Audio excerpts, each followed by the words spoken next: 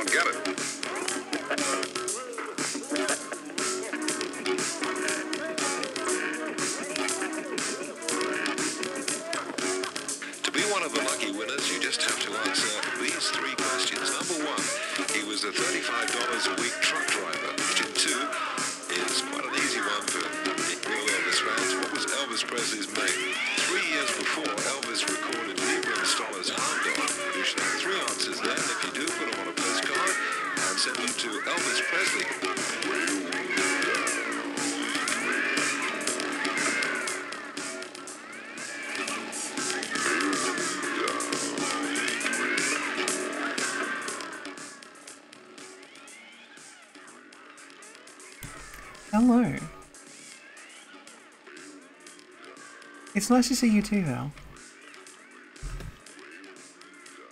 I'll wait for some more people to show up before I go into details about what we're doing.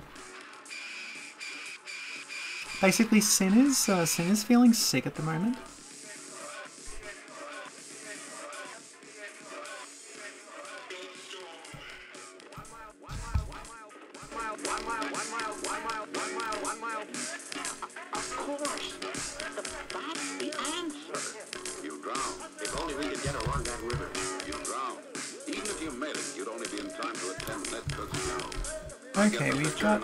people here.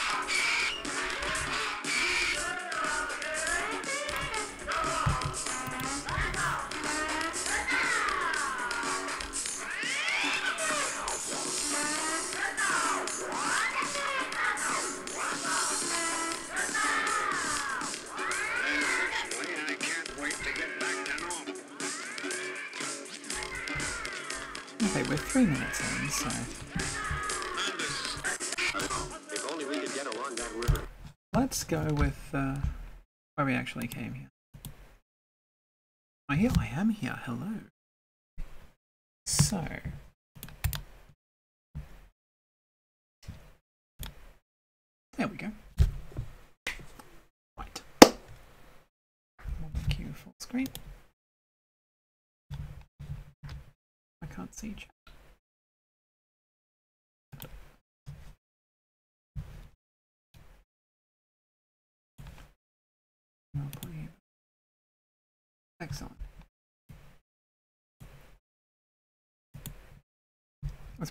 back.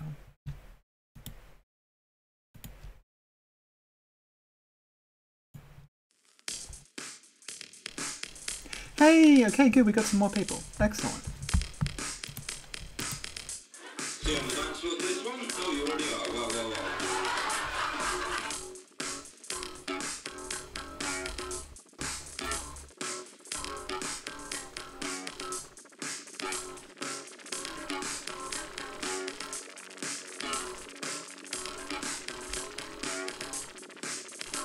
Yeah, there's no way of announcing this because uh, Sin is not feeling well.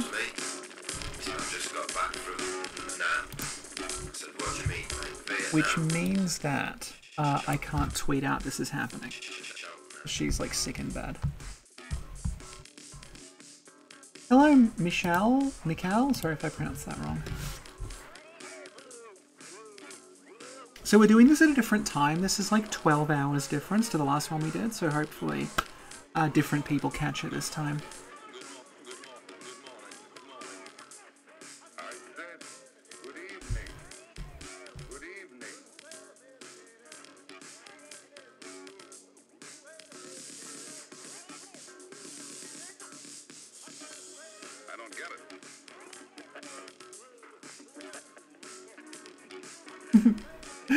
well, it's like, because at the end of this, we'll just go back in time and make sure none of it happened. It's, it's like Derasine.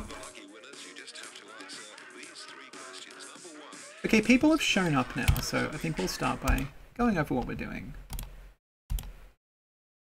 Hello, SW Frost. Okay, so here's what we're going to do today. Uh, this is time manip. Yes, it is time manipulation. So let's talk about how this works. So Bloodborne's got these four distinct times of day that you play through when you start the game. Um, it starts technically in late afternoon. After you enter Oedon Chapel, it switches from late afternoon to evening. And I might just turn myself up a little bit because I'm not very loud. That's better. Okay. Hello, Michelle Crimson Angel. Okay, so I'll start again. So, Bloodborne's got these four distinct times of day. When you start the game, it is technically the late afternoon. When you enter Oedon Chapel and the cutscene plays, if you're going and going inside, it switches from late afternoon to evening. When you view Lawrence's memory through the skull, it changes from evening to night. And when you see Queen Yharnam appear at Moonside Lake, it changes from night to red moon. So, um, in a standard game cycle, that's always happening in the same order because of the way the world's designed. So you have to go through Central Yharnam to Oedon Chapel, which means you have to go from late afternoon to evening. You have to view Lawrence's memory in order to get the password to get into Forbidden Woods, so you have to go from evening to night. And then you have to, um, in order to, also got the, yeah, basically in order to get out of, yeah, in order to get out of Central Yharnam, you have to go through Oedon Chapel, so that switches it always from late afternoon to evening. Um, in order to get to Lawrence's memory, it has to go from evening to night, and then in order to get to through Forbidden Woods uh, to Moonside Lake, you have to have seen Lawrence's memory, so it has to go from night to red moon. So, but you'll notice that the whole of Yharnam and Bloodborne's world, everything's interconnected. And we could technically visit those locations in a different order if it weren't for three very specific locked doors. So the first one's the one from Central Yharnam to Oedon Chapel, uh, which we get after Gascoigne. Second one is the one that goes from Cathedral Ward to Forbidden Woods, which is after Amelia. And then there's one that leads back. Kyan's here, hello! I haven't seen you for ages. Hi, Ava. Okay, everyone's showing up. Good.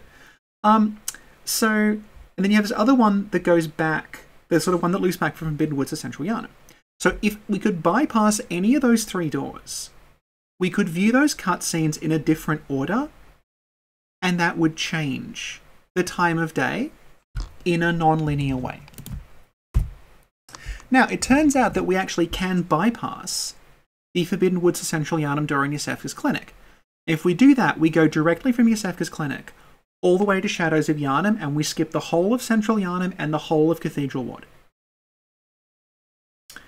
And this also has the advantage of when the Red Moon cutscene plays, it doesn't just change the time of day like the others cutscenes do. It actually teleports us into the middle of Cathedral Ward when it happens. So not only do we change the time of day out of order, but we actually skip entirely the event in Oedon Chapel that would switch the time of day.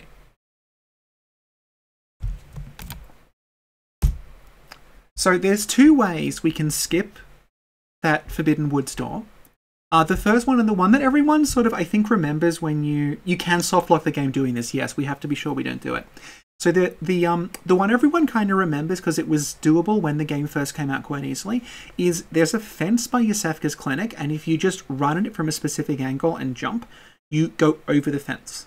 And when you go over the fence, you end up behind the locked door, so you can go directly down to Forbidden Woods from there. Now, what happens is they actually patched that out in um, I it's like somewhere before Old Hunters they patched it out. But if you have the old like release of Bloodborne, like you have a disc from 2015 and you put the disc in, you can actually just install and ignore the patches. So that way you will have like a 1.0 save file um, with you able to do that glitch. The second is the werewolf grab, which um, yeah, SLB Frost mentioned that in the chat. So basically, that Scourge Beast in sort of foyer of the clinic if you can get it to do its grab attack on you at a specific part of the hallway, um, it's kind of like in the corner, I think, by the door. When it grabs on you and pushes you, you just you can, if you time it right, like slide through the wall and you pop out the other side. So you bypass the gate that way. Um, basically, because I already had a save file from 1.0 with the gate open, we're just doing that. So the gate's already done. Um, and yeah, the the Scourge Beast thing, it's something that's done by speedrunners now, but I'm just saying, like, we already have the top one done, so we don't need to worry about this. It's just two ways of doing it. So um, here's some examples of what's possible if we do this. I'm going to try to show off as much of these as we can. So we can fight Gascoigne during the red moon or during the nighttime. We can explore the second half of Yahar'gul before the blood moon, so we can see like that that area where the cramped caskets are and the bell maidens. We can see that in the night and in the evening. We can go to Upper Cathedral Ward before the red moon. Uh, weirdly, we can see the Forbidden Woods door open from behind. You can see the little skeleton man sitting in the chair and the door opening like that behind him. Um, and we can do some cool stuff like we can fight Amelia and Eileen at the same time, and we can fight Amelia and the Bloody Crow at the same time. So that's the end of our little introduction here. And um, people who weren't here last time maybe don't know why we're doing it now. This is the Community Return to Yharnam event. It happens every year from the 24th of March to the 7th of April. And uh, we always take this opportunity to promote uh, Bloodborne-Wiki, which is the site that's run by Meph, and it's contributed to by Meph and also other people um, such as myself, such as like the Tomb Prospectors, uh, people like that who've written quite in-depth guides to various parts of the game, done a lot of research, and Meph runs that site entirely herself. It's not hosted on Fandom, it's not hosted on Fextra. She has to run that by herself. She's paying for the hosting costs. She's doing all the code herself. She's made that whole website basically from scratch. So uh, because basically it costs money for her to do that, it also costs a lot of time for her to do that. If anyone just wants to go to um, ko-fi.com slash Mephistophea, like I've got down the bottom, and kick her like five bucks or ten bucks, that really, really helps. Our last stream we did, we got about 200 bucks, which is covered quite a lot, but if anyone wants to keep chipping in, that'd be really great. So let's just close you down. Now I have to switch over to the actual game, which means this thing will go weird. Are you still weird? There we go. Now I have to find my buttons again. Okay. Put you back up. There we go. And now I just need to get the chat back. And it's here. Excellent. Okay, so hopefully everything is still working. And let's put background back. There we go. Oh, round of alignment back up.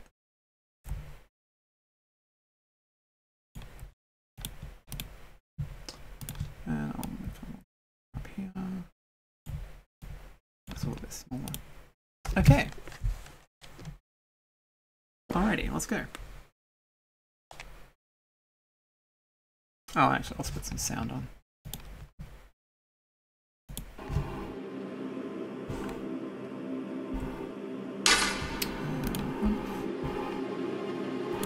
Let's actually just choose this. There we go, that's better. Okay. Just making sure you can all hear it. Uh, there's OBS, and there's the chat. Okay, cool.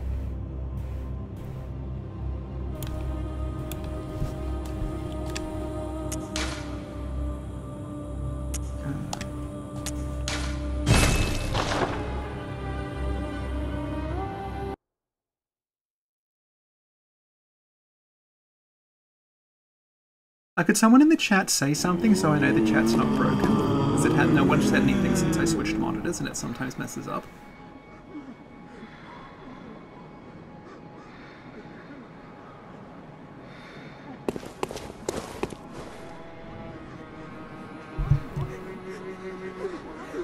Okay, hey, okay, we're working. Okay, so, um, you'll notice if you're paying attention when I loaded the file, this character is they level 205. Thank you for saying something. They're 205. They have 39,000, no, 395,979 blood echoes. But the only places open are the clinic and the sick room. The, the, um, yeah, the sick room and Central Yharnam, so The reason that it's like this is because this is my glitch character.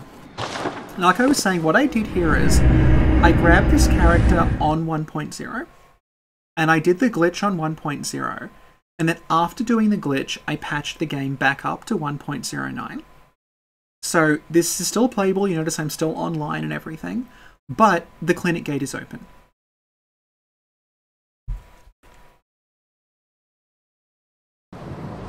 You can do this yourself if you have a copy of 1.0, but um, keep in mind that if you do do that, the file you make, like you basically have to wipe all of your files to do this, so if anything ever goes wrong with this file, I basically have to like sacrifice all of my other files to get it back.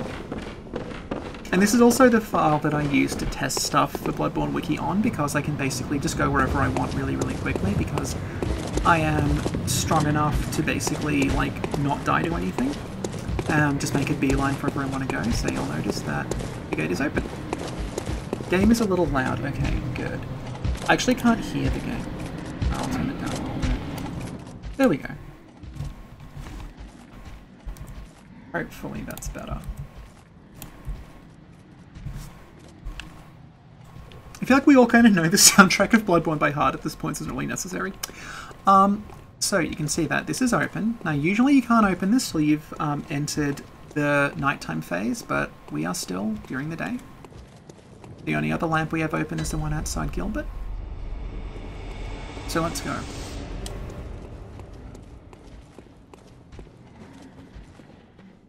Oh, actually no. Let's let's show off something first. Let's show off something first. Ever wondered what it looks like if you go to the Iosefka's clinic before you enter Central Yharnam? Let's go up here.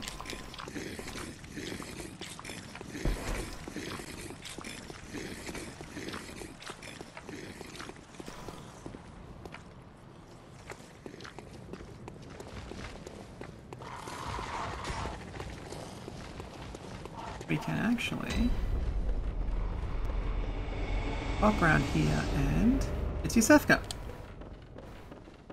This is real Iosefka, not fake Iosefka. And if we talk to her, open the door, and then Are you out on the? Then I'm and she'll actually say like she can't open the door. I cannot. I am. That is a Iosefka. real I know. Please, And now. you can see we, we're walking directly through her. So like the actual Iosefka NPC is just this sort of invisible like zone that exists here. And this graphic is here basically in case you can kind of squint and see through the door to make sure there's somebody there. But like that's not really there. Like we can just we can She acts like we're hitting her, but you'll notice the weapons just pass through her. And through here. Some material. This always like this is a material error with the game.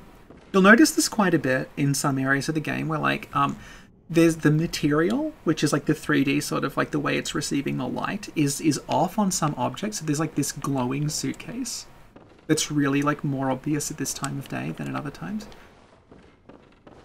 We can go explore here. You can see there's no celestials here, but we go all the way to the back. The transformed celestial's still here. And might be wondering what happened to the other Iosefka. We go through here.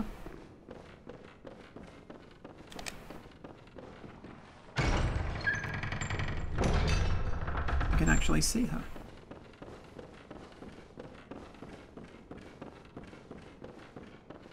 And there she is.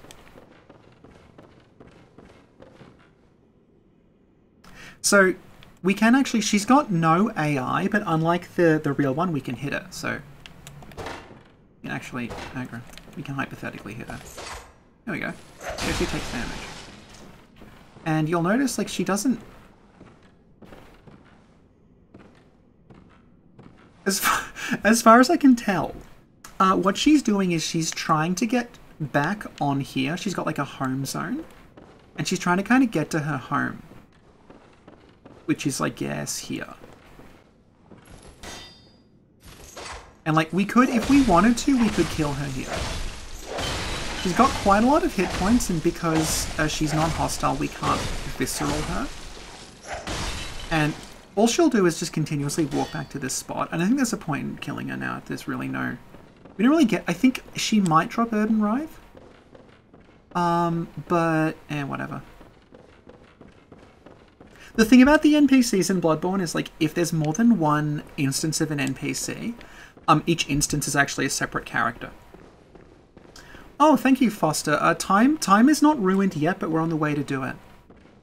We are gonna cause so many time paradoxes, it's ridiculous. And this is this is quite a tedious process, by the way. So we're gonna be seeing this a lot because we're basically gonna have to play through the whole game several times, uh, with like an unupgraded. I think my weapon's unupgraded. I can't remember. Uh, so it's plus six. Okay, yeah. So the reason that, that it... Oh, hey, Nostalgic Dishback. So the reason that my weapon is plus 6 is that I went down into the caves here uh, when the first time I went through the fence. And um, I'm trying to think of what order I want to do this in. Okay, well, we'll do Eileen later on. I was thinking about should we do Eileen? Let's not. Um, I went into these caves to begin with, and I killed the giants, because the giants have a very low chance of dropping the twin bloodstone shards. So I just killed a ton of giants and got my weapon to plus six. So Eileen's quest is is um triggered by you seeing the Forbidden Woods title card, basically. So the second that we see the Forbidden Woods title card, Eileen is kind of out of the game because we haven't met her yet, so it'll just sort of erase her. But um, what we'll do is the next time we do this, I'll make sure I trigger Eileen to start with. And then when we go back, like we'll be able to fight Eileen and, I- and Amelia at the same time, which is kind of a cool thing to witness.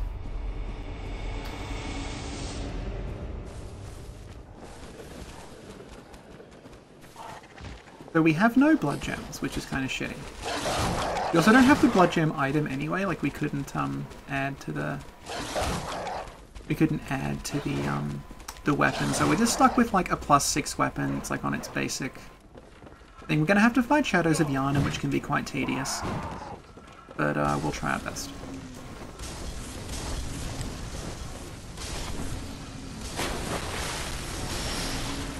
Oh yeah, I actually did. I kind of did this a couple of years, not a couple of years ago. It was like three or four years ago. Um, I remember when Sin Sin was in the woods uh, with her boyfriend's family, so we couldn't stream together. So I did this uh, with Xenolalia, who people. Okay, people might know Xenolalia because we did an Armored Core reaction stream together, and then YouTube took it offline because it, it had copyrighted footage in it. So if you saw that live, great. If you didn't see it live, you'll never see it again.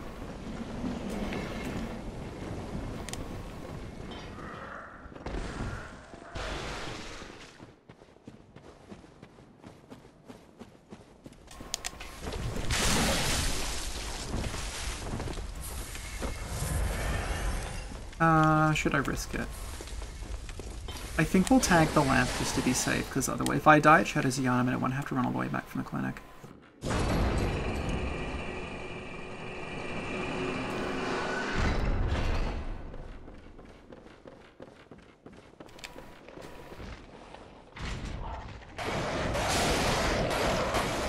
Oh, hang on, another thing. Um...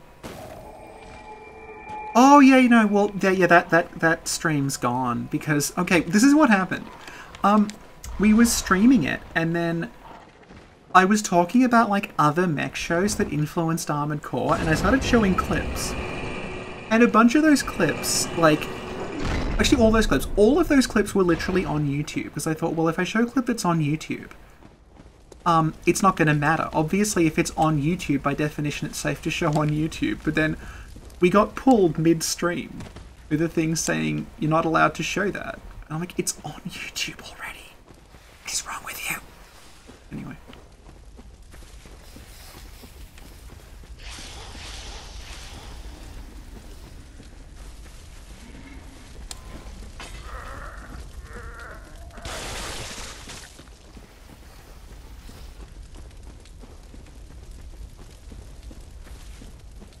There'll be a lot of long pauses because I've got no one to talk to. And this is just like it's Forbidden Woods. You've all seen it hundreds of times.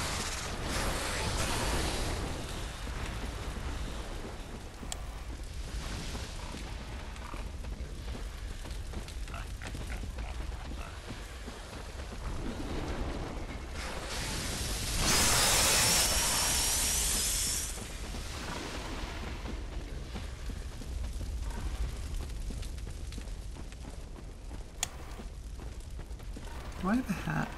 I do.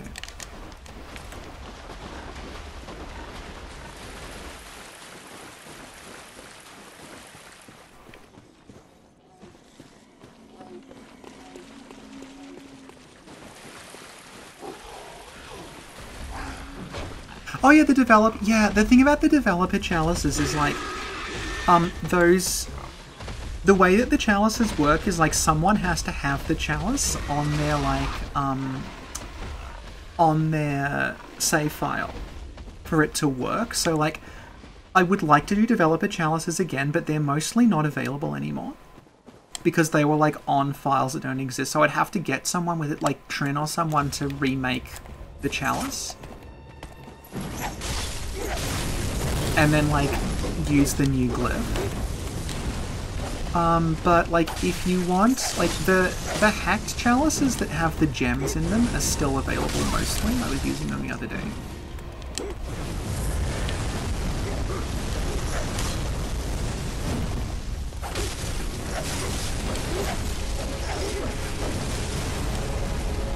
Very, very sadly, the uh, Bloodborne wiki actually has a no damage guide, um, and it was written by me. And as you can see, I cannot no damage anything for shit. Um, the only bosses I've ever no damaged are Bloodstarved Beast and Lady Maria. And that is entirely because I wasn't trying to. I was just like, fuck it, I want this fight to be over. Um, I wrote it based on someone's someone's no damage guide video that they made.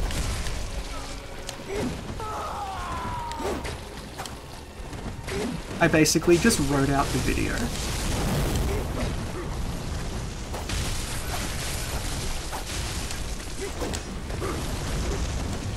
The, the funnest way to do this is if you can get a Shaman Bone Blade before the fight. You can get them to fight each other, but we don't have any. It's going to be a no fun stream, I'm sorry.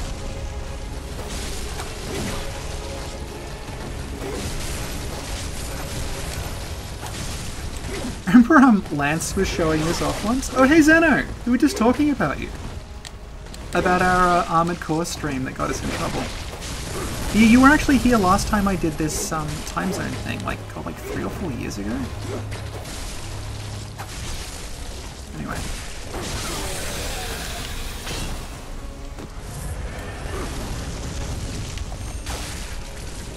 Come on, just die before the... Good.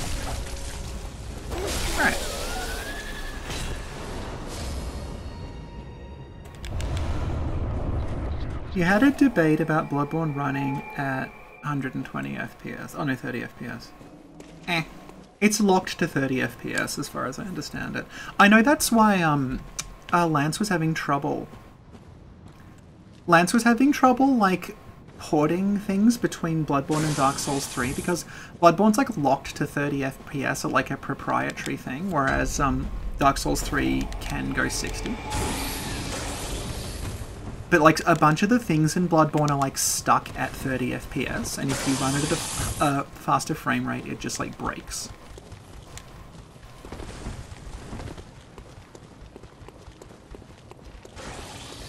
I mean, you've seen the like PS1 games I play that are like 12 FPS, and that was fine. I don't know if I'll be able to beat Rom. Uh, without, like, refreshing first. This stupid icon going following me. There's Yuri.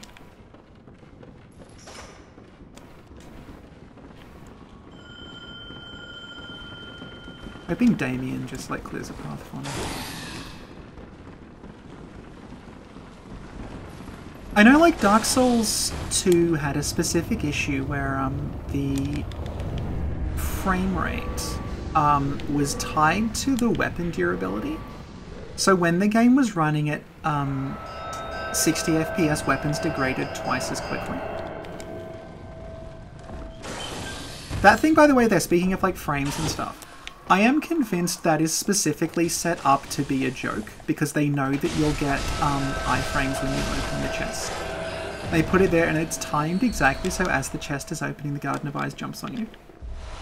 Anyway, Damien's dead, but hopefully.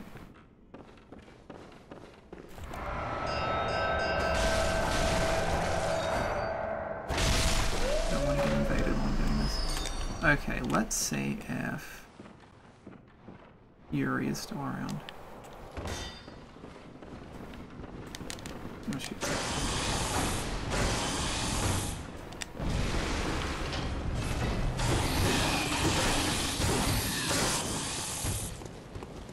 Can I get Yuri to follow me in? Maybe it's Okay. I don't know if we'll actually be able to beat Rom with 12 vials, because she can hit very hard.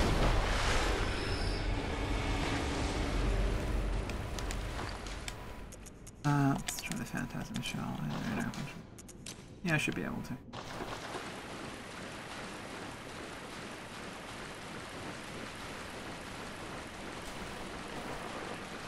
to. Okay.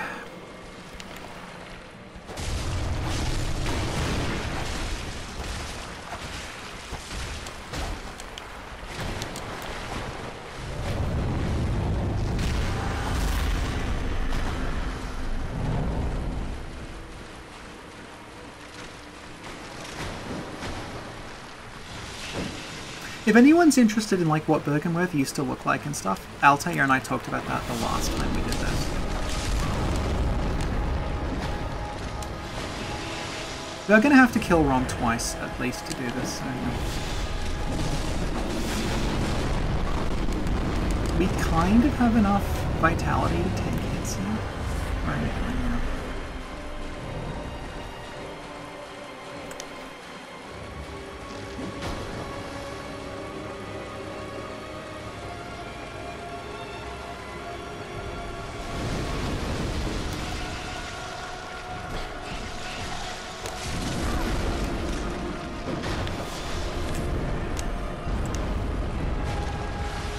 when um when I played Elden Ring? If anyone was watching me stream it blind, I was like, Astel is like a cross between Rom and Amygdala, but I somehow don't hate it.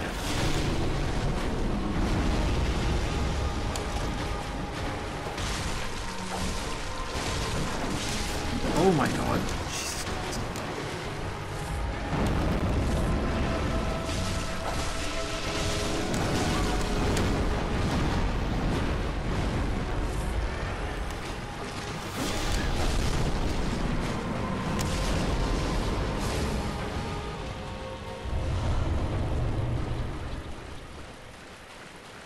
Well, if anyone's curious about this, right, you'll notice that we jumped like all the way down and we survived, and that that didn't.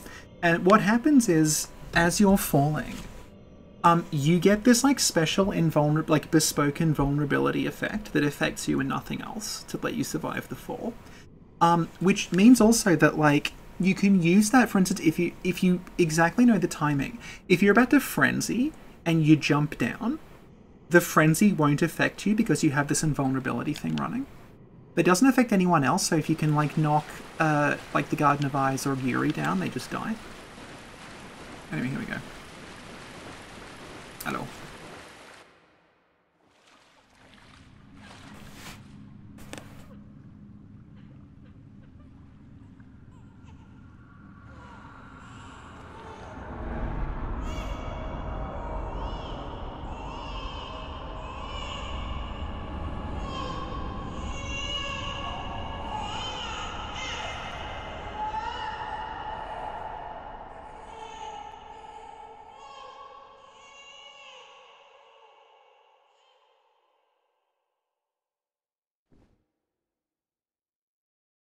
So to be really careful here because if the um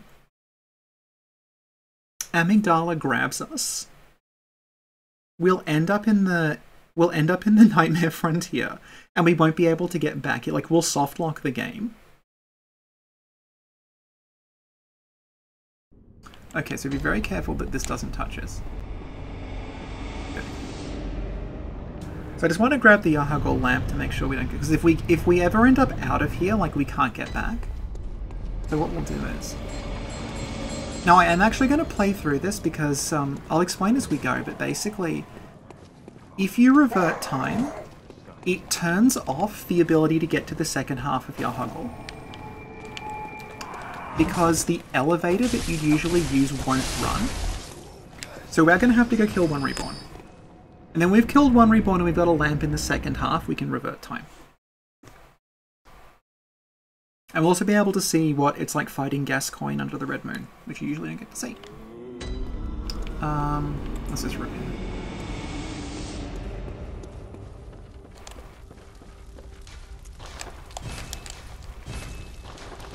Do I have any gems? Ah, oh, no, I don't, because I don't have the Gascoigne thing, of course. Yeah, so after this, we'll we'll just go back to Oedon Chapel. And we'll reset the time.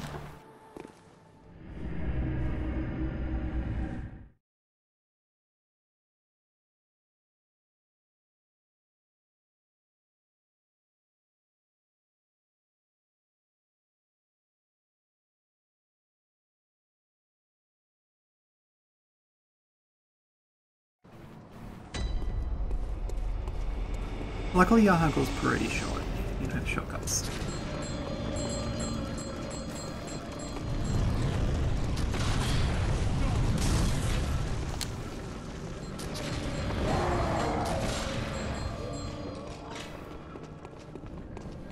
A lot of people don't actually know that you can just jump off the stairs there and just skip all of this.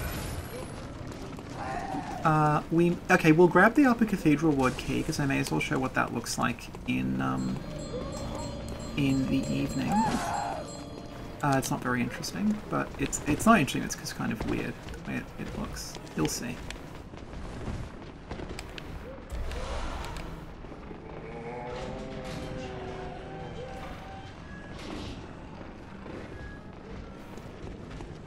Oh yeah, the beast claws being a hidden, essentially hidden weapon. Yeah.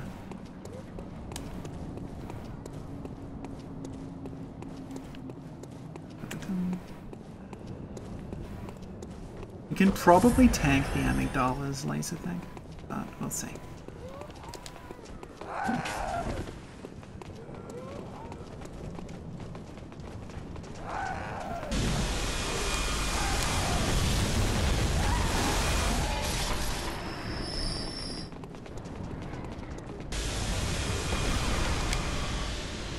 So even if we have this uh, tagged, if we reset the time of day, the doors will still be locked, so like we won't really be able to see very much of Yahar'gul. So we actually want to kill one reborn and get the lamp behind it.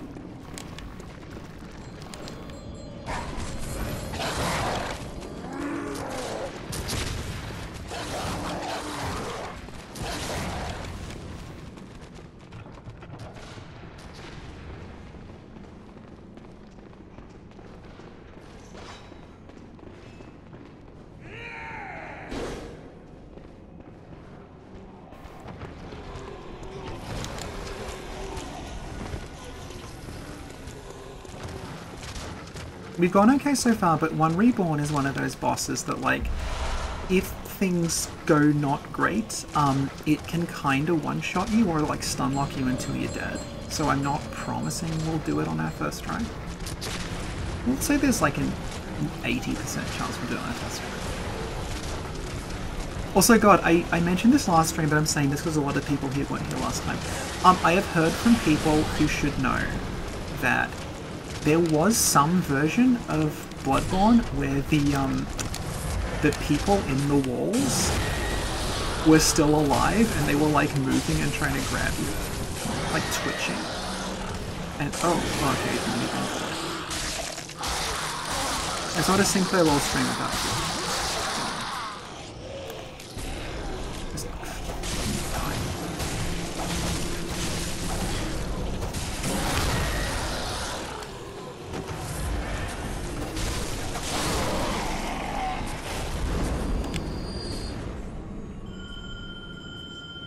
Yeah, so apparently, like, there were, um, like, character models of those people, and they'd be like, when you were near them.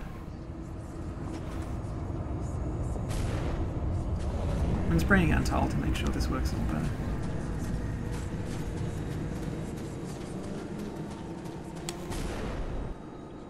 I don't know why. Um, a, a lot of like map sort of coolness, from what I can tell, was cut out, and I think it was to do with like the map files themselves getting a little complicated.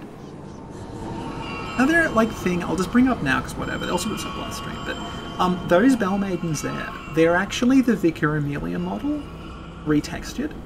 So if you look at this in a map viewer, there's all these copies of Vicar Amelia's pendant underneath the arena because they animate her and then they just get the pendant and make it out of like basically just put it out of bounds so you don't see it. But yeah, anyway, we've all seen this before. Like, I skip it? I can't skip. Oh, I can skip. Okay,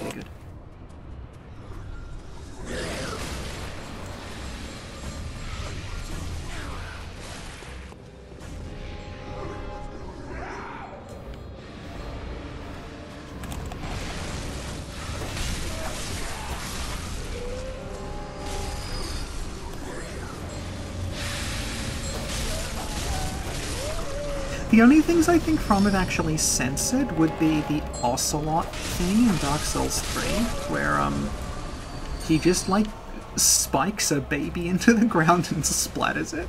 Because I feel like that's probably something that they would have said, no, you know, you can't do this. And that's because it's not like they cut Ocelotte out. The um the absence of Ocelotte actually just makes the fight very confusing to understand. So I think Ocelotte that may be an actual instance of something being censored. But I don't, they don't, I mean, obviously they don't shy away from things being really grotesque.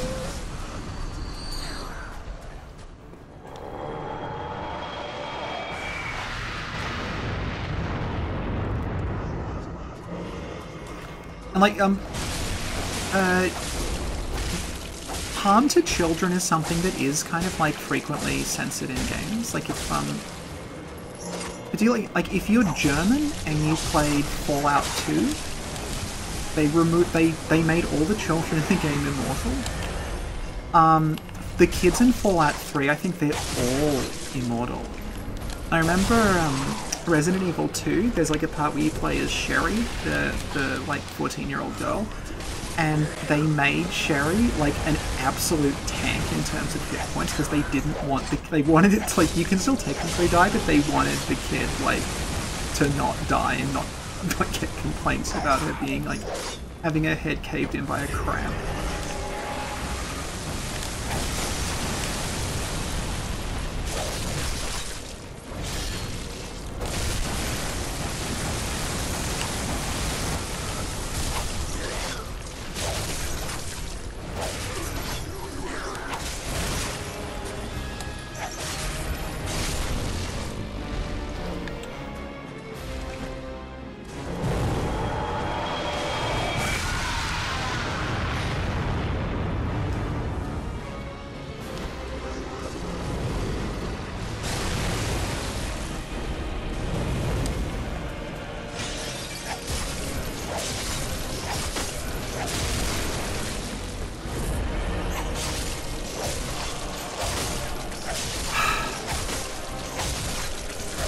Streaming? I'm streaming till I've. I'll probably basically do like. I'm less than halfway through now, so. We are gonna have to kill one reborn again, I think, later on. He's just massive. Well, he's a. He's conceptually and also gameplay wise just a massive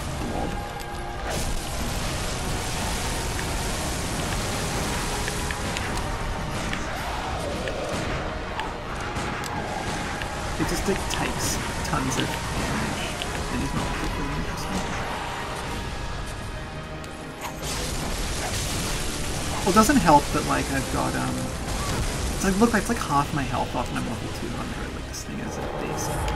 Um, like my weapon, because of the way I'm doing this, is levels. It's plus six. And I think they're expecting something close to like plus eight at this point, and I've got no blood gems. Having summoned Antol, it's got more health.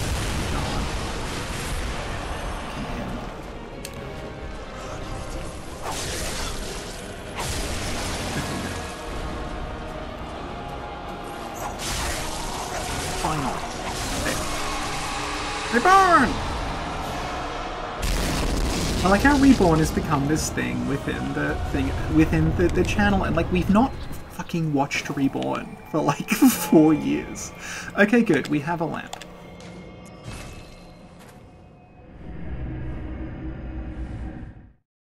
So what we're gonna do now is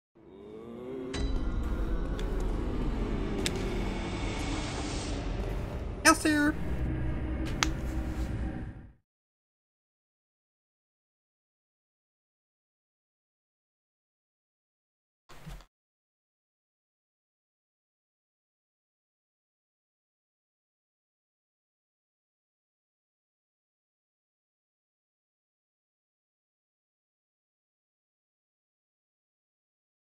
And yeah, I was actually going to do this. Um, oh, Gilbert's I was actually going to do this tomorrow, but basically, Sin is quite sick.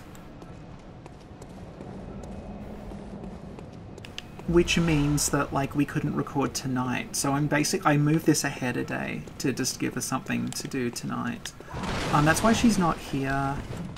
And more chance of DS. I really want to do more Dark Souls 2 content. The thing is, like, Sin and I just, we don't have the time because this is not our full-time job. So we're basically limited to, like, what can we record in a weekend.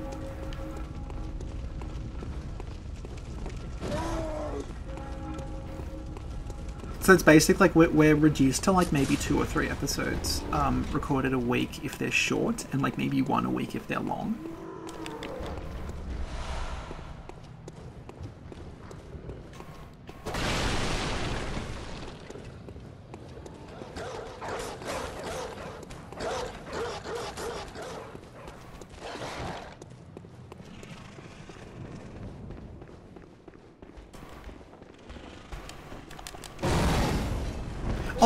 We actually have to do for Dark Souls 2? Um, we did the Queens of Dark Souls 2 with Asa, and we did two episodes out of four, and then Sin just kind of forgot about it. So we have to go back and we have to do Alsanna. And then we have to do Nashandra. We just haven't got around to it yet. I might actually put the Yahar'gul set on. Okay.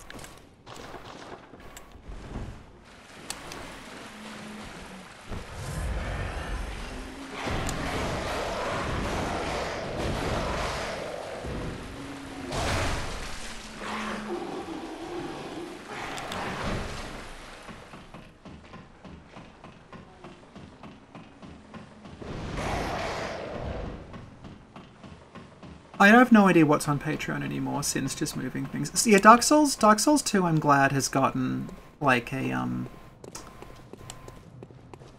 I don't know. I don't know what the word is because it's not quite like like it was always generally liked, but there were these sort of criticisms of it that they're criticisms that make sense if you assume it's just supposed to be Dark Souls 1 again. But um it's not, it's its own thing. And I guess it's it's kind of been reappraised, yeah. Okay, here we go. So this is the first like weird thing we're showing off, which is it is the blood moon, but someone's gonna still be here.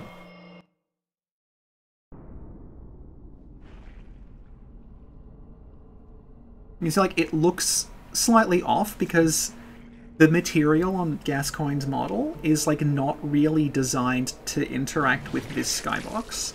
So he looks very sort of weird and flat. Yeah, I think your reevaluation's a good word, because I think the general sense is like, when it came out, it was this isn't like Dark Souls 1. And then it gradually became, well, it doesn't have to be, it's its own thing.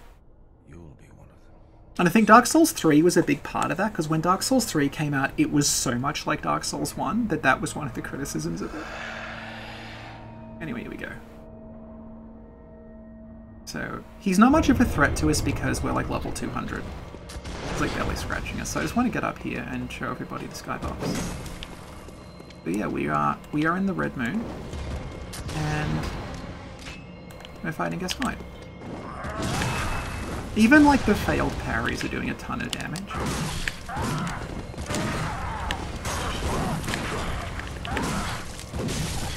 Actually, I reckon. If we can successfully parry him, we will probably... God damn it. Sweet blood. Oh, it sings to me. It's enough to make a man sick. Come on. Ah. If you sometimes you can kill him so quickly he just like he never goes into beast form. He just dies.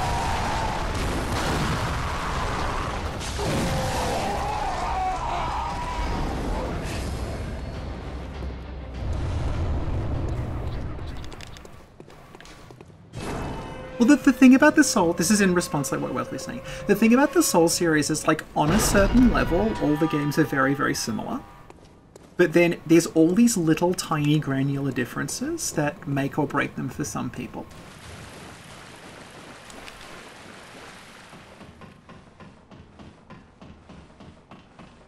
It reminds me of like how there's like fighting games that have all these different versions, and like if you don't know anything about them, like it's the same game. And someone's like, no, they changed the parry timing, or like they changed how iframes work, or they this character's thing goes for slightly longer, or something like that. Anyway, so now we've been building up to for the last god 51 minutes. I apologize. Is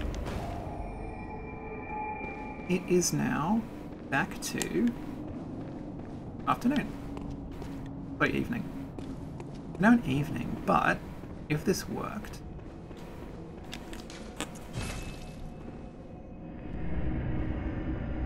Yeah, Kaya knows about fighting games. Like, you'll be able to explain this to people.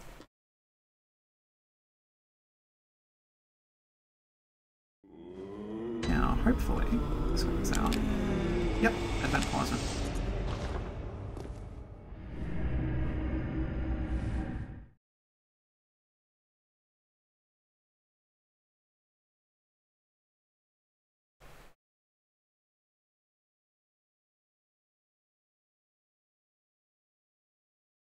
Ta-da!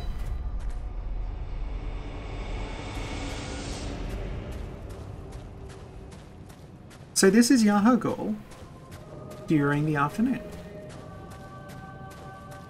And because the uh, the enemies are tied to times of day, they don't spawn. So we just have just wander around Yahar'gul.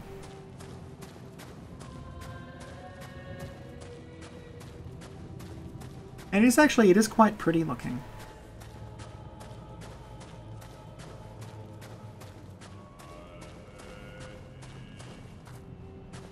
See again, like I'm saying, of the material effects, like you're not supposed to be here at this time of day, so things like that tree, they're not really optimized to be looked at in this light. It, like stands out quite a bit.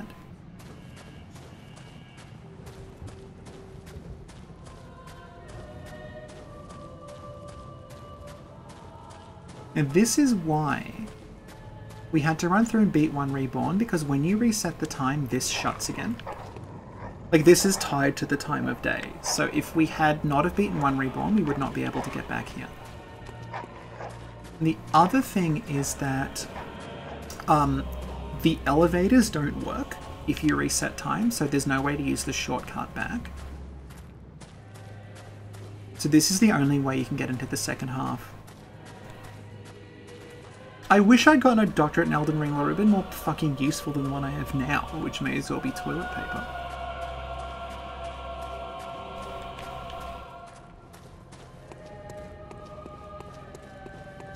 Do these work?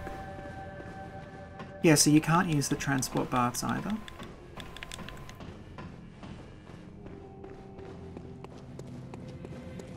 Ladders work, I think. Yeah, ladders work. Ladders work, but the transport baths and the elevators don't.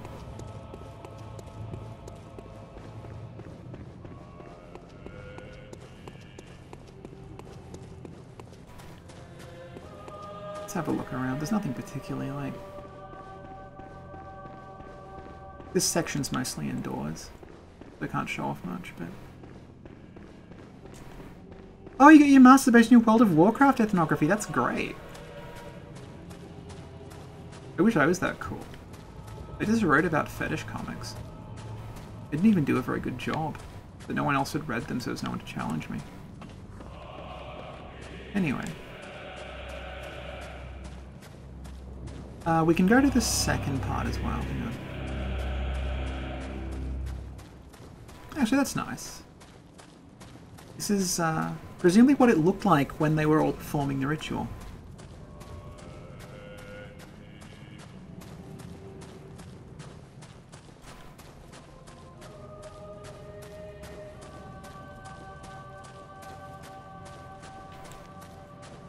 And also head back to...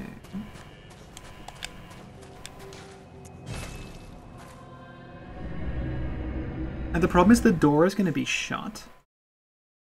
So we're either gonna the door to Yahug from Yahar'gul to Cathedral will be shut. So in order to make it nice again, we're either gonna have to kill Cleric Beast or go through Old Yharnam, and I'm thinking about what I want to do because if we go through Old Yharnam, we'll be able to see Upper Cathedral Ward.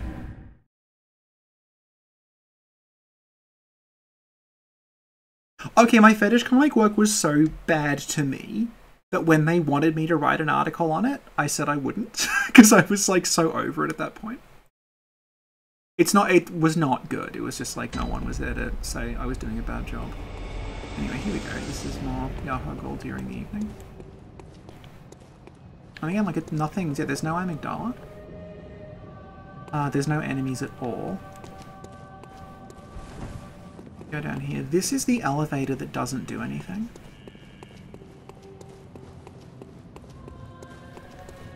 Like this elevator, you can see like it's here, but if I'm standing on it, it doesn't do anything.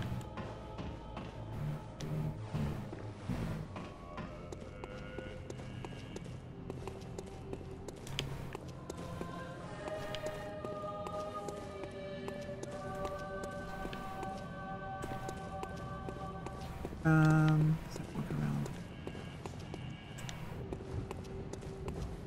And again, like you can see that the the kind of metal stuff at the top, it's gone like blue. Because again, it's not really like this lighting is very strange. It's got this like blue reflection coming off from something. Because usually you only come here at night. Yeah, we can sort of wander around. There's the main street. Um, I think I may actually go through Old Yharnam now. This shouldn't take long because I can pretty much just demolish anything.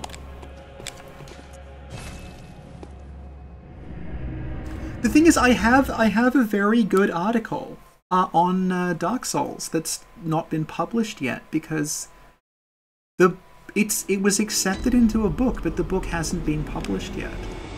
Um, I think they're still waiting on some submissions, so I can't actually show it to anyone yet.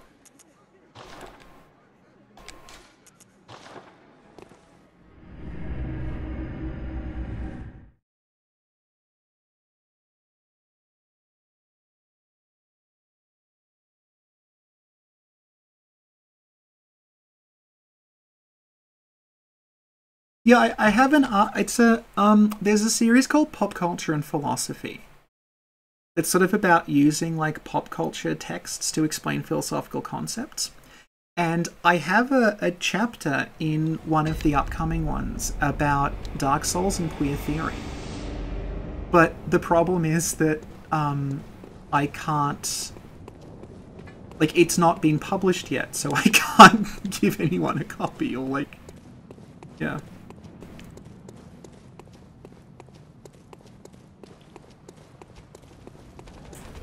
But yeah, Sin and I were talking like when it finally comes out, uh, we will do like we'll do an episode on it because it's really just reiterating a bunch of stuff I've already said, um, but there's a bit more coherent because I only had about four thousand words.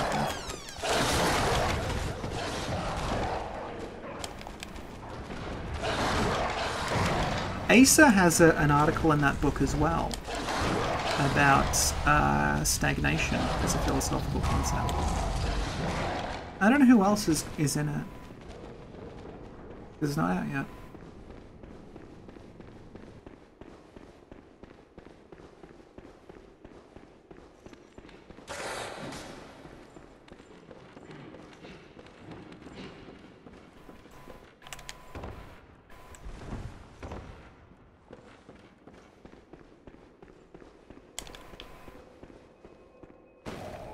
I just I just want it to be published so that can be the final word on Gwendolyn, and I never have to answer any questions about them again.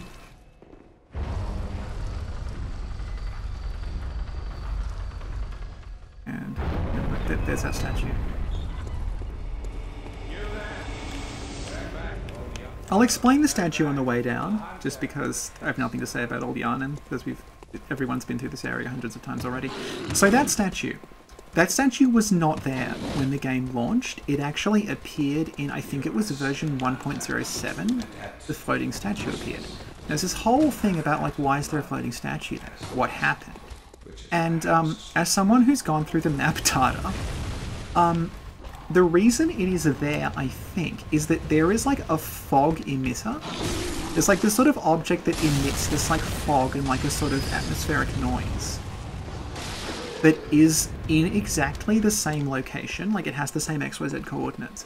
And I think what's happened is at some point the coordinates of the emitter just got given to the statue.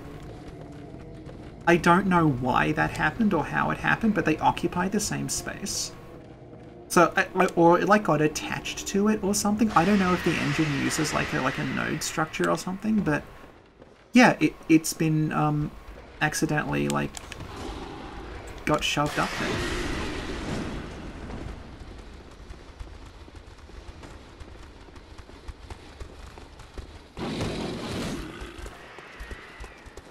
Yeah, yeah. Why are we going this way? I don't need a shotgun.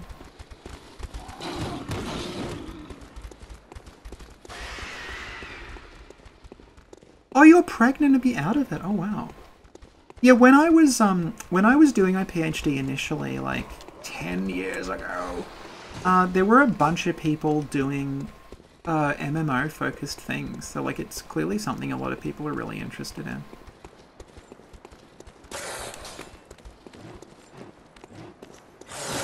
I might actually just. I have this perpetual fear that like I won't open his shortcut and I'll get there and then I'll like get killed and have to run through the whole area again. So let's just open this to be safe. Oh, there's fire paper up here as well. Okay, we're in business.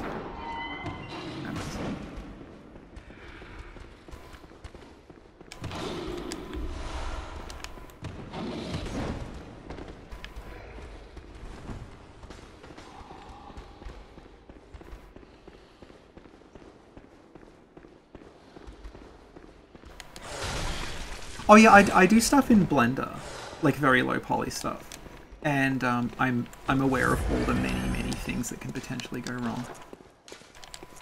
And some antidote just in case. Another like okay, these like real nerd hours here. A lot of people will be aware that like there's this scourge beast here that's got the red eyes, and it's just like a unique enemy. Okay, it's not a unique enemy. Um, what's happening is this thing. When it sees you, it does this screaming attack. And what the scream does is the scream is actually a buff that affects all the beasts within its radius and it gives them the red eyes. That's also why the ones in the chapel have the red eyes, because when you drop into the chapel, the beast goes and they all get the buff.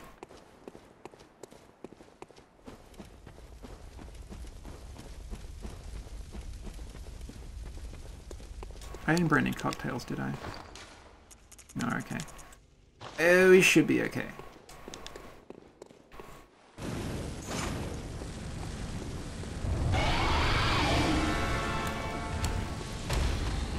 The Celestial Emissary has a buff, which a lot of people don't know about. Um, because they kill it so quickly, they never see it do it. And it only works in the Upper Cathedral Ward version. The um, Chalice version will never do it. It's, it buffs the little the little dudes that follow it around, which don't exist in the Chalices.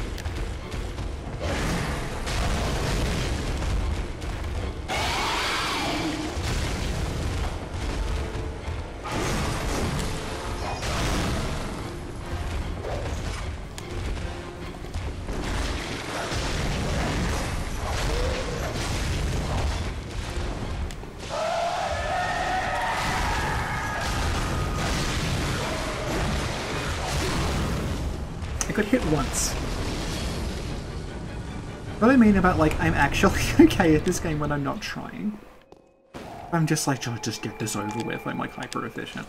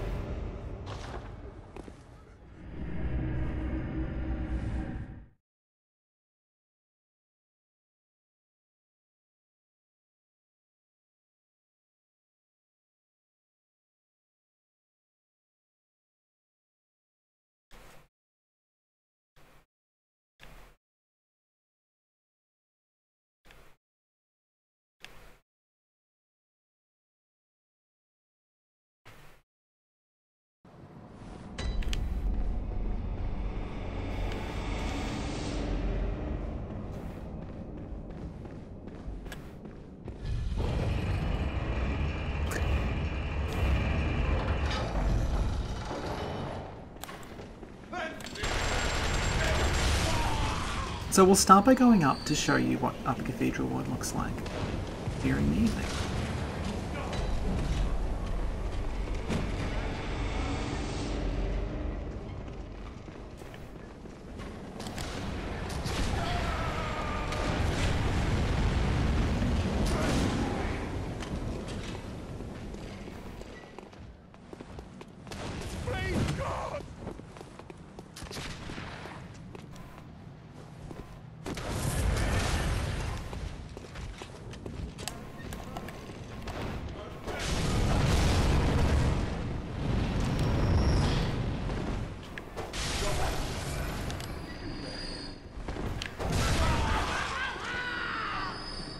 We grabbed it, we can actually go through here and visit Upper Cathedral Ward during the evening.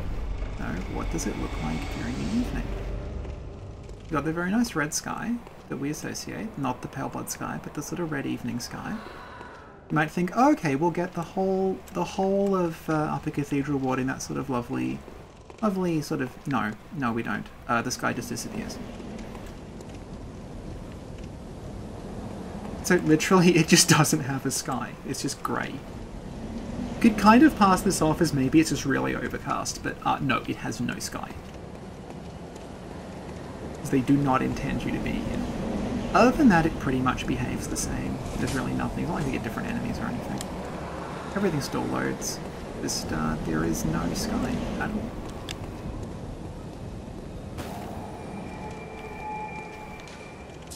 Let's go down.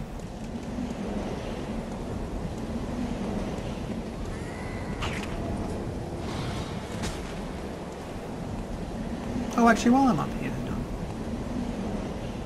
let's get rid of.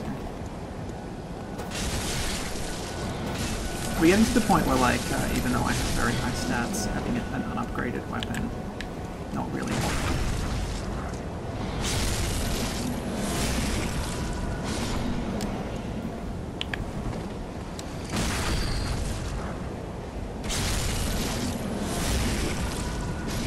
So kind of hard to see because I didn't, I haven't got the monocular, and I'm really sorry. But if you look down there, um, in sort of the center of the screen, you can see there's a gap. Actually, hang on, there's a better way of showing this off. We might do this uh, another time. I'll show that off after I'm done with Amelia because I have to go through there to get to her. But basically, you can see the old structure that this area used to have because they didn't update the the um the distance models if you look at it from the distance, you can see, you can kind of see it here as well, like, um, that's sort of the way you get to Yahar'gul, but you can see it's slightly different, like there's a gargoyle there instead of a well, and there's this, um, sort of wooden structure. I'll grab the monocular on the way back, and we can do this properly.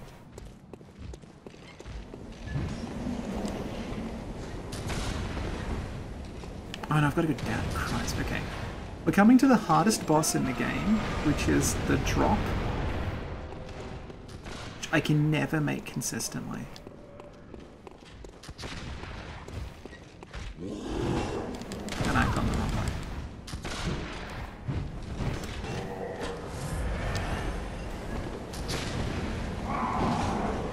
The hardest bosses in the game are this drop and Mikolash. Who gave us quite a lot. Al- Altair and I were playing this last night, not last night, a couple of days ago, and um, Christ Mikolash. New Game Plus Mikolash is not to be fucked with. It's basically like you're fighting a landmine that will randomly go off. There's nothing you can do about it. Okay, here we go. See, everyone has trouble here, it's not just me. So we're going to try to land on this and. Whew!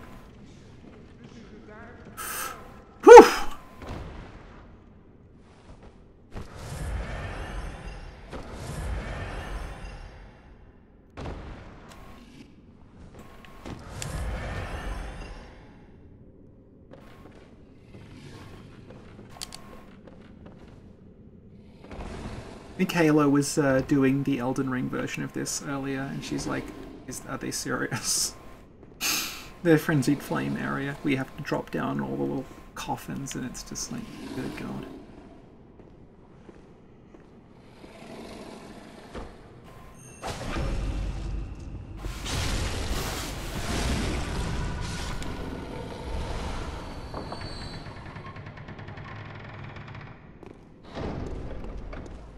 Elden Ring is bizarre in that like they finally added a dedicated jump button and then they add the single worst jumping puzzle they've ever done.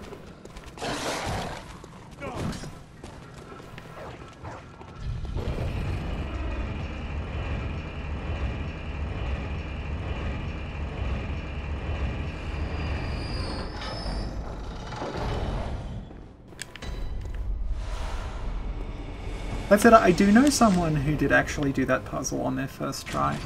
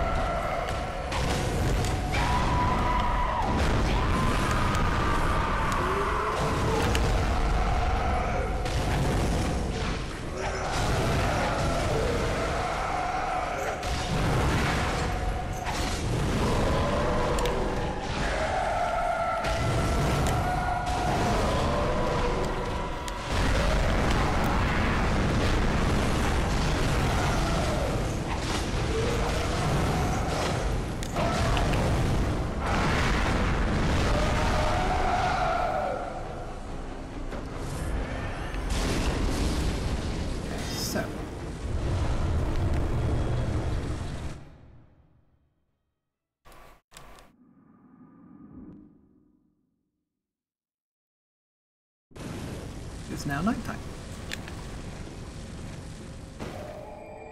So. We can go to Yahar'gul, but I actually want to grab the monocular first. Hello, Ollie.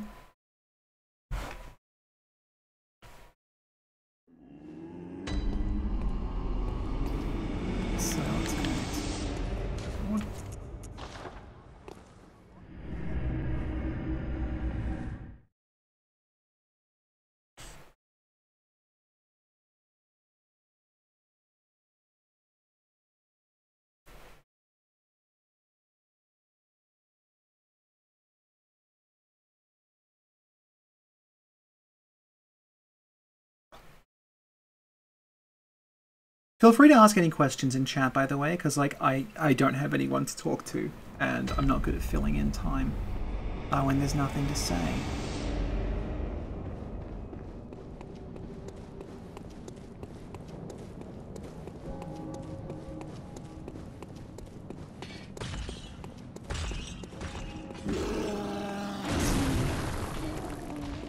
Oh yeah, for anyone who cares, hang on. If you get the monocular and you look at the description of it, it says used to view things up close.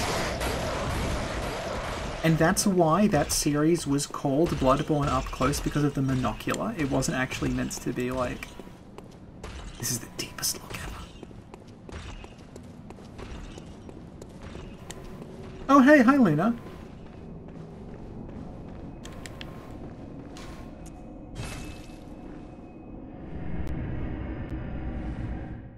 Yeah, we're now going to go to Yahar'gul during the nighttime. We're getting a lot of uh, um, people I know here who weren't at the last one because we're doing this at a different time of day. Insane and Event Plaza. Through them. Uh, the Elden Ring version was going to be called Far Away Things because that's what the um, the telescope says. Promise pushing ACSs on Twitter. Here we go. So this is Yahar'gul at nighttime. Actually, we can prop. We, now that we've got the monocular, we can have a maybe a nicer look at it.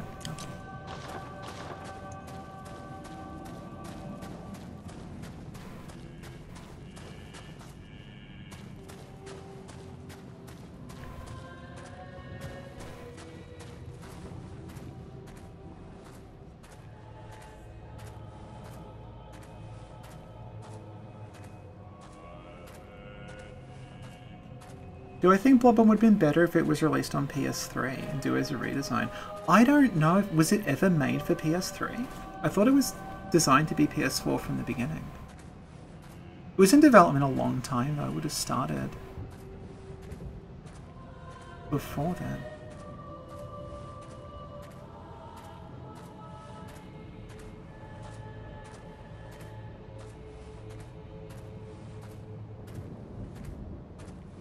Yeah, the buildings are very tilted. You can see it's all like sort of warped and melting and broken.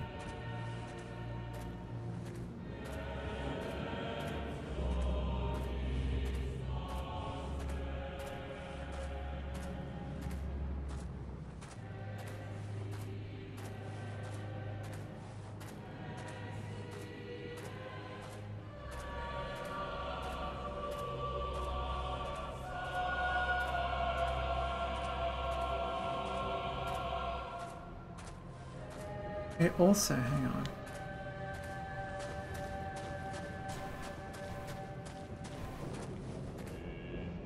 These are very, very close to the worm faces from Elden.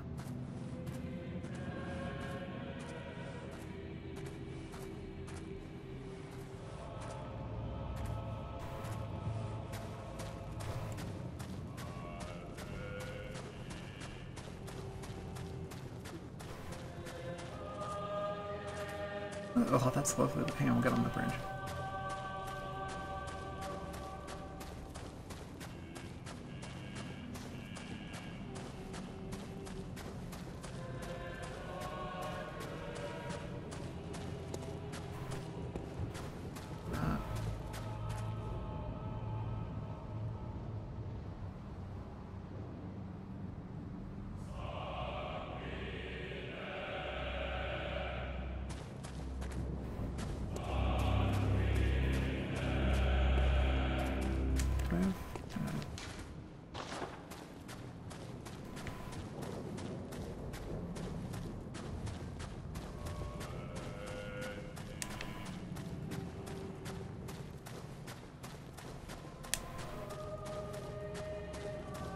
It's like beautiful. It's a shame we never see this normally.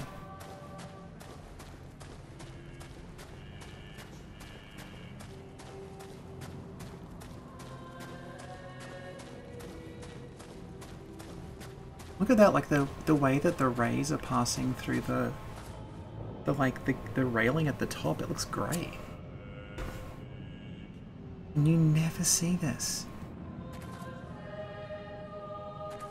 I'm actually wondering if like this is um some like unused thing. Because they went through so many like you, Luna will know this because you work with with Abyss on the stuff he's doing with all the lighting and everything, but like there's all these like unused lighting setups for Bloodborne. And this this might even be one of them. Like this might be I don't think it doesn't normally look that silver. Like, it looks beautiful. Probably get it behind it. Look at that. It's amazing. Like it's clearly like not realistic lighting, but it doesn't matter. It's like it looks it looks like like a film. Like, like its expression is it's amazing. It's incredible. So we'll just check out the other part.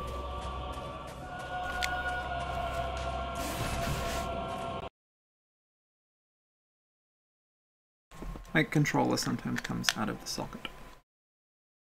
I have like a kind of busted controller. So when I'm trying to charge it, it'll like start doing that. Um, we are. We don't have shining coins, do we?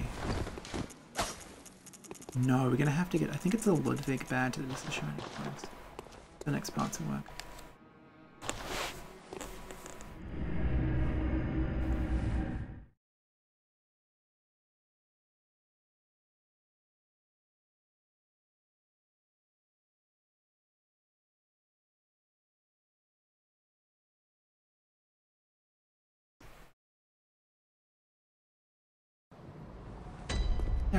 Yeah, like look at that.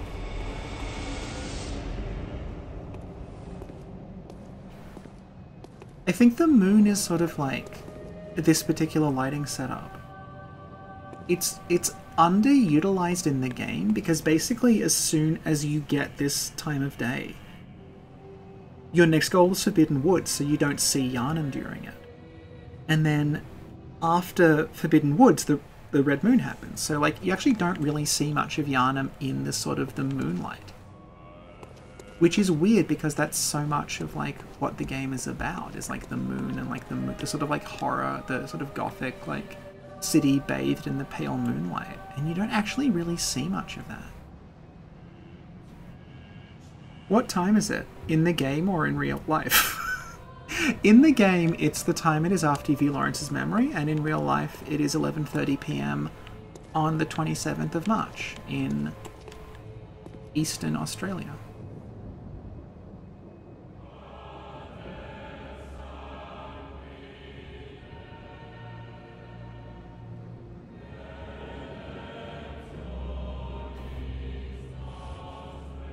Actually, I'll show you also like why I had to do this. Um, because now that we're in the nighttime, the door, which is like contingent on the time of day, is locked.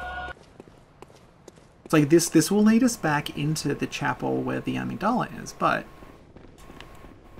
we don't get an open prompt. Like we can't do anything about it, we can never go through the door again. So that's why we had to make sure we have certain lanterns tagged, because just doors will not open, they'll stay locked. But yeah, again, look how gorgeous this is.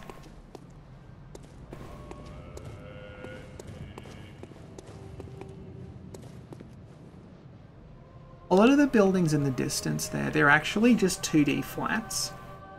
Like there's just like a, a picture of a building and they just sort of stack them in rows to like bulk out the skyline. So there's not actually a 3D model at all, but you don't notice because it's far enough away. But that's, look, look at that. Get this amygdala with the and a halo of light around it. And there's still like weird places like this where I, I know it's coming from that, but it's expecting you to be here at a different time of day, so the lighting's not really optimized. But like, God, this is gorgeous.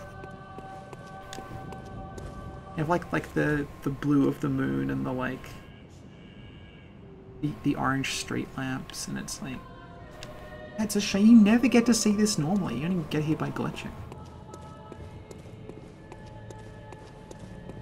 Anyway.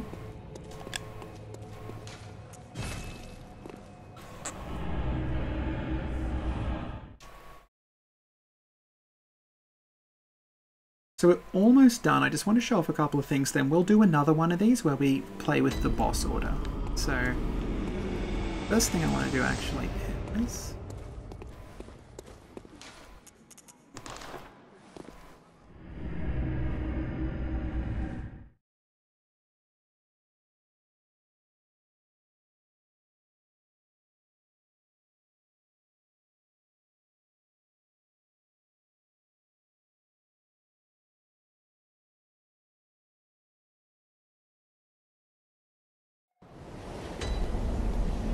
reason I'm doing this is I want to grow. You can also see, like, again, um, this is nighttime and there's just no sky.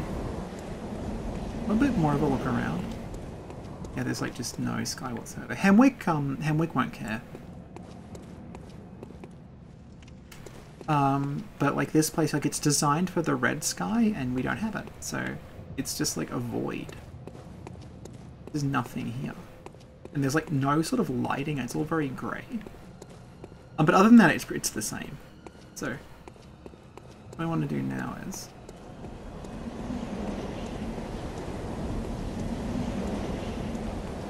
Get rid of these two guys.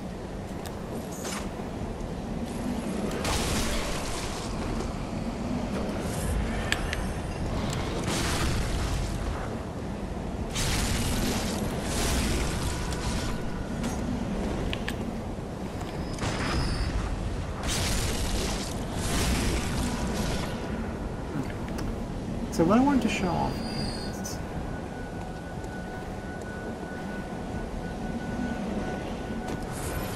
I was thought I was playing Elden Ring and I'm like I can control the telescope. Like, uh, actually kind of hard to see because of the rails and everything. But you can see there's like a gap there. And there's like a, um, a doorway there. That's actually the path you take from Amelia to Yahar'gul. It's like Amelia's boss door is kind of over here, and if you just keep running, like you just run through there and past there, and there's no gap and there's no elevator. And that's because that elevator, it used to connect to Upper Cathedral Ward, and what would happen is because there's a gap in the floor, you had to go to Upper Cathedral Ward, and then take the elevator down, and that's how you got to Yahar'gul. So there was no way to get there um, by just running, but you can just run. Now, what I might actually do here is we can show this off. A little better.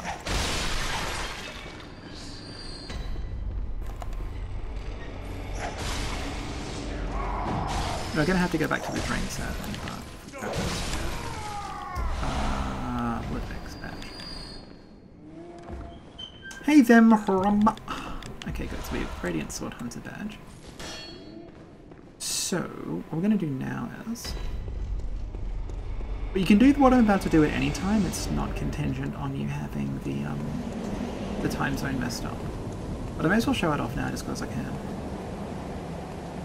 Quite a lot of things you can see from Upper Cathedral Ward that aren't in the game anymore because it's using an old version of Yharnam for the for the distance. Uh, with time manipulations about half done, I'm gonna do. I'm gonna revert the save and do it again, and we'll we'll fight uh, Amelia and um, Eileen at the same time. So I should be able to buy shining coins. Yes. So I want to go to.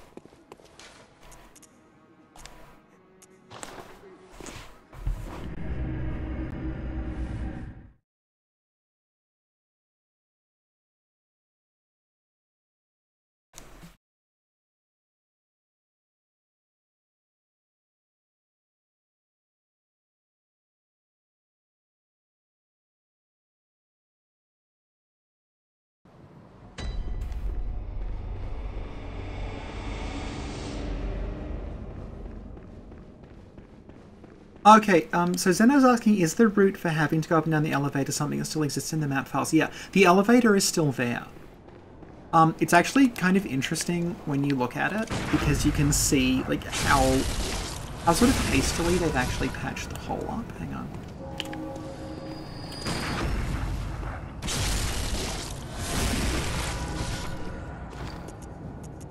So I'll just lay out some shining coins. So initially, like, it would just stop here. So we'll just we'll just put some coins down, sort of mark out the boundary. So initially, this would be not here. And we'll just lay some down. Hey, a Abacab DK.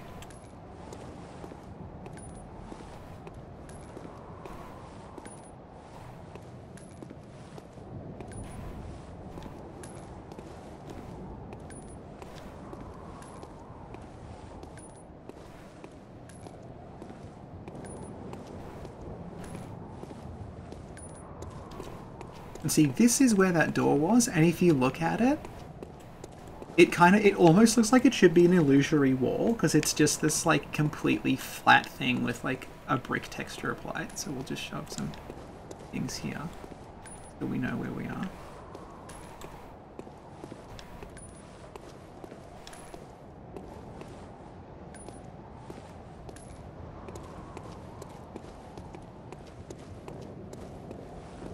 Let's go further.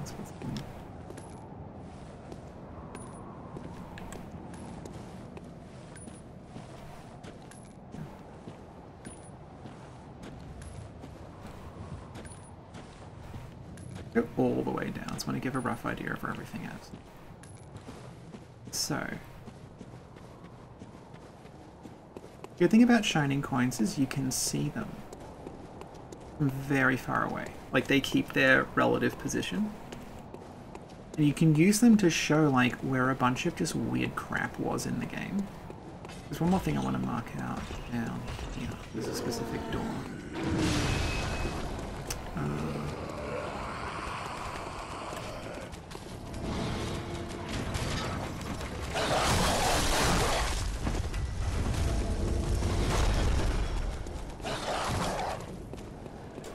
Just for reference, this is where like the um that's the sort of the, the open door that takes you on the way to Forbidden Woods. So that is a mark just out.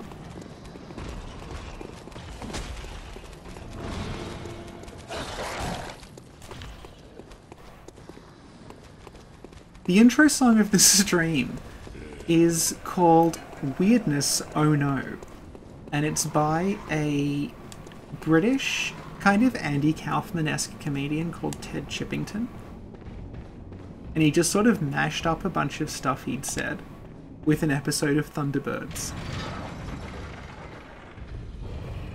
I was trying to think of something I could play that wouldn't get us copyright claimed. I don't think uh, Ted Chippington is gonna be bothered.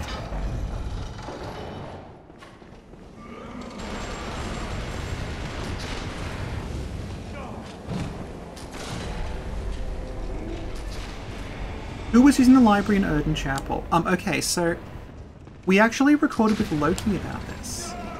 And, um, Loki, like, we, we sort of, like, we used to think it was it Viola, was it, like, someone from the School of Mensis, because they mentioned a Lost Master, and, like, that's Mikolash's title. Um, Loki said it's probably just someone who worships Oedon. And the Lost Master they're talking about is just Oedon. But, like, the Byrgenwerth spider is hiding like the ritual, and that is stopping Oedon from manifesting. So he said it's probably just someone who worships Oedon. So I'm fine with that because it's, it's a very odd thing because clearly not the chapel dweller didn't write it. Um, and no one else is. Oh, these things take time. No one else is like in there, and it probably wasn't Viola, unless Viola's like a secret Mensis agent, which I'm sure is someone's headcanon. Uh, get rid of these people.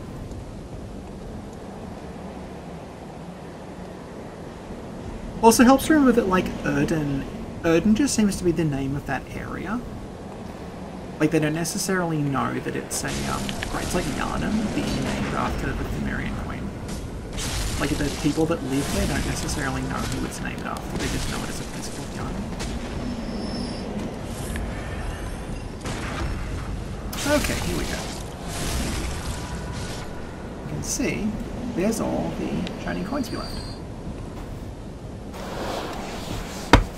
So there is like where I said move across. There's where the barret. That's where the, the sort of edge is. It's very hard. Actually, probably easy to see like here. But yeah, there you can see the shining coins have laid out the path, and that path clearly crosses something it shouldn't cross. And you can see that like around that massive statues where I put all the the shining coins, like that's where the door is. And if you look at up at that, See, that's Lumen. That's like to give you a rough idea of where we are. That's the clock, obviously. Lumenflower Gardens is behind that, so like the Celestial Emissary is kind of in here. So that that was the elevator that went from Lumenflower Gardens down, and it would continue around. You can see, you can kind of see where the coins are. Not very well. Let's see that what would happen is you'd go into Lumenflower Gardens, go down the elevator, and you'd get to this area which you couldn't normally get to because there's a gap in the way. And then that would lead you down to roughly where Yahar'gul is. And quickly before I go from here, there's a little thing I want to show. Let me see quickly from here. No, they're not showing up. And, uh, Um, there's a good place to look at it from. Over here. There we go.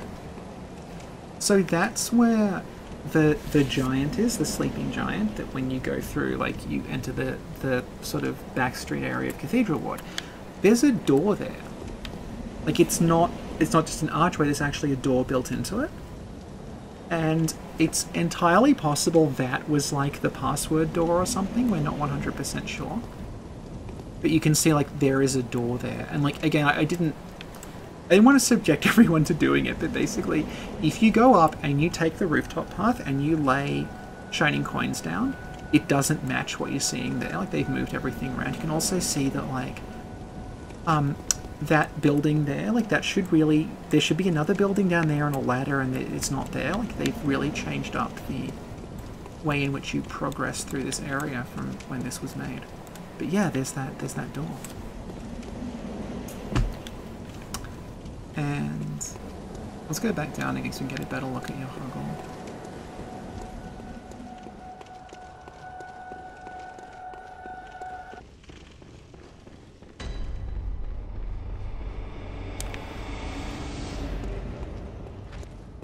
So, that's the stairs you take down to Yahar'gul. And see, that's where there's a well and you can see that like the basic structure of the plaza is still there but the well is this gargoyle. And that area there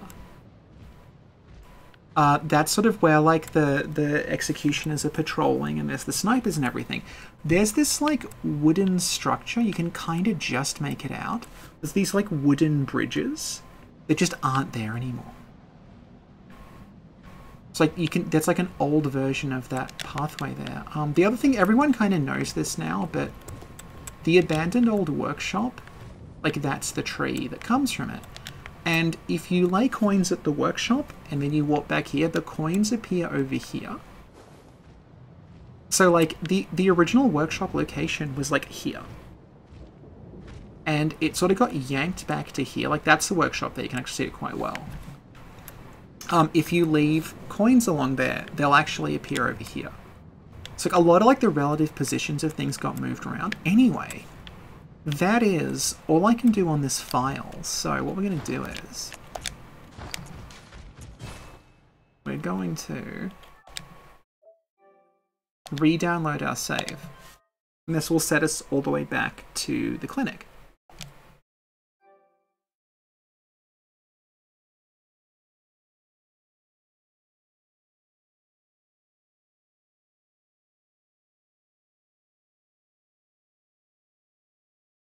This also, by the way, gives a little insight into what it's like being someone who does Bloodborne wiki stuff. As you can see, I instead of just having Bloodborne, I have Bloodborne, Bloodborne, and Bloodborne, and they're all slightly different versions. So let's go Bloodborne.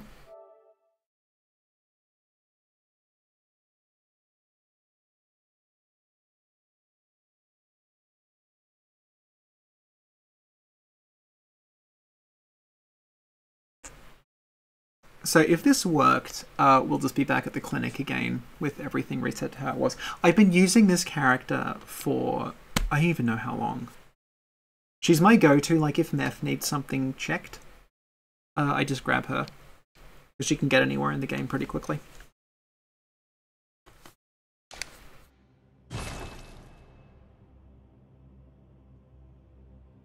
Um, I've heard of Charred Thermos. Um, I haven't actually watched it yet, but I know Meph's written it up. So one day, one day I will.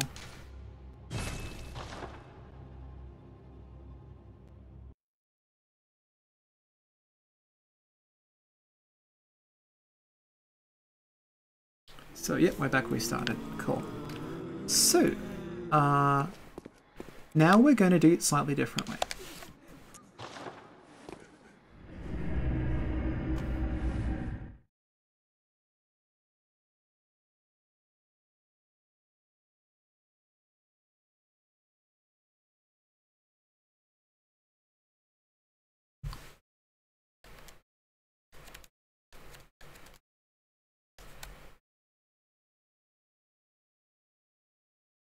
So what we're going to do here is we're going to trigger Eileen.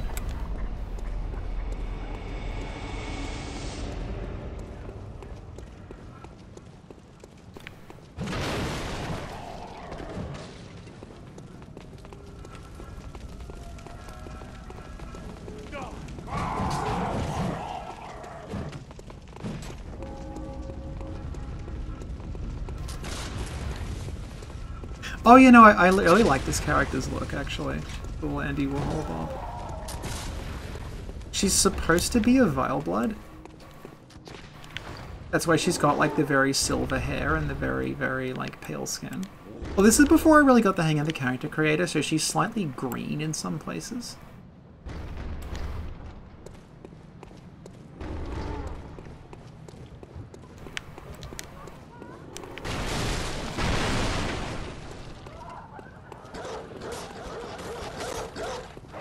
So we can either fight Eileen and Amelia, or the Bloody Crow and Amelia, and I think because it's gone quite well so far, uh, let's do the Bloody Crow and Amelia to create, like, just this incredible mess.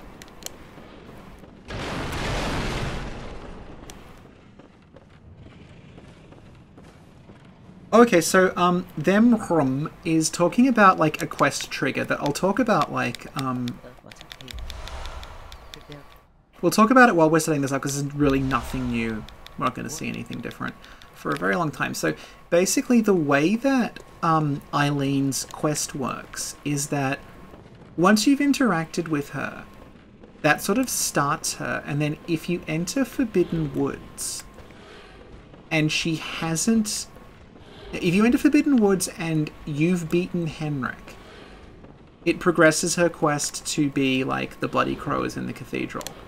And if you go down there having not beaten Henrik, it progresses her quest to her being blood drunk in the cathedral.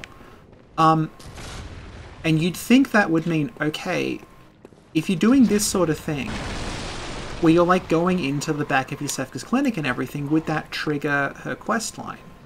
And the answer is it doesn't, because you don't see the Forbidden Woods title card. Right, so that makes sense. But, Patches, Patches the Spider is has a trigger that makes him appear behind the next window you see. Um, when you... Well, okay, you would think that what makes Patches appear is that he's behind the first window you see after entering Forbidden Woods, like that would make sense. But he's not. Because if you just go inside of the little Iosefka's Clinic cave, but don't trigger the Yusef, don't trigger the Forbidden Woods title card. Um, patches will still appear, but you won't you won't have progressed Eileen's quest line. Like it's it's extremely convoluted, and it's only relevant in this run that you normally can't ever do. But yeah, it's like their triggers are different, and I suspect like patches probably like they had not settled on how he was going to work until pretty late in the day.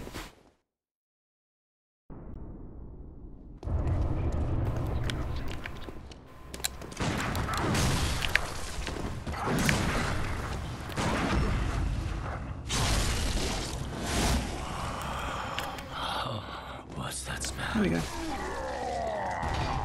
Didn't even see beast mode.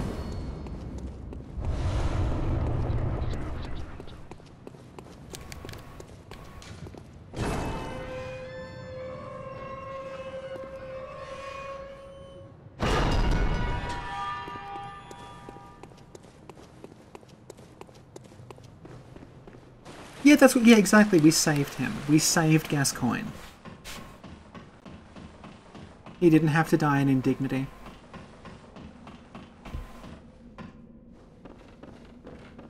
That's whatever. I think I have an arcane gem lying around somewhere we could probably use. Oh no, I didn't because I didn't grab any gems when I was in the cave. Okay. So.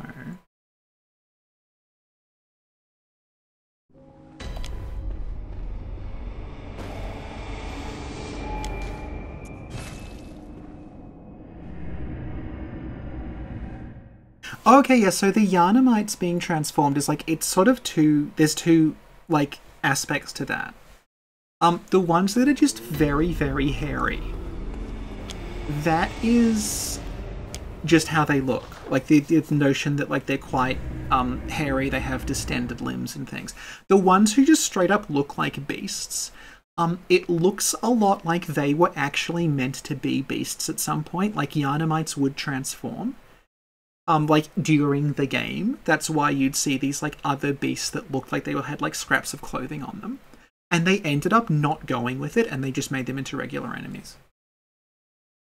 But those enemies are strange because they they will like um for example they will um they will chase pungent blood cocktails i think. Or they're like weak to serrate. Like they have some beast qualities but not others I can't remember exactly, but we did test it. I think they chase pungent blood cocktails and they're weak to serrated, but at the same time they don't mechanically count as a beast for beast damage bonuses. It's just so confusing. There's a lot of different damage multipliers in this game that frankly don't matter at all. it does not matter. Like there's like beast damage and serrated damage, which you'd think would be the same thing but aren't even though they're described as the same, you'd think that like they would just function the same way, but no.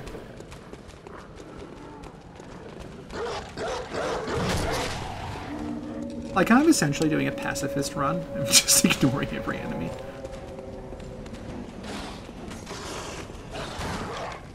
I'm doing this so we don't have to um, go through all the armor things. I just want to open the game.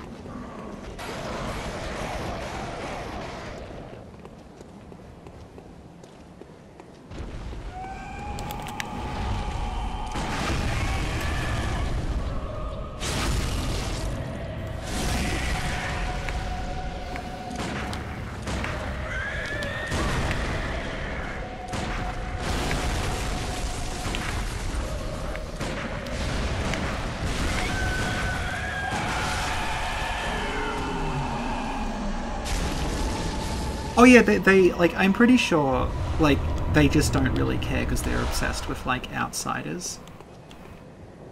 So as long as just you're like a Yharnamite, they don't care. But at the same time, like um, they they clearly wanted to have the Yharnamites and the Beasts fight each other, and it doesn't get implemented until the DLC. And I pointed this out last stream when we were doing it, but like the DLC impl- implementation of that is basically that the Yharnamites will start facing a wall and then there'll be a trigger that as you approach makes them turn around and that's how they do it. Because if they're just patrolling the map they just start fighting stuff like without you um without you having any control over it. So i think they would have just killed each other. There we go. Uh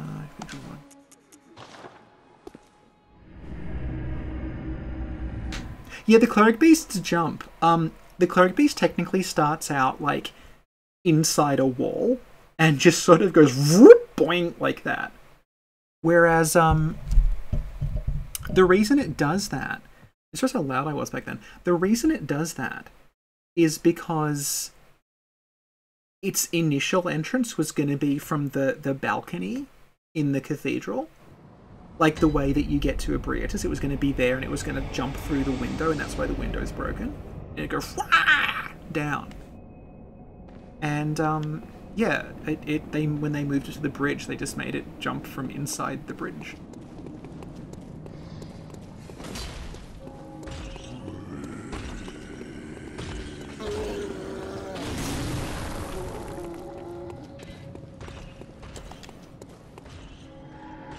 Yeah, like in the cinematic, yeah. It was gonna be like um, it would leap down. There's actually the, the cutscene is still in the game. Um, Lance restored it. It's on uh, Bloodborne Wiki. Actually, we can watch it. when I when this ends and I start like showing off what's on Bloodborne Wiki to convince you to give it money, uh, I will show you that cutscene.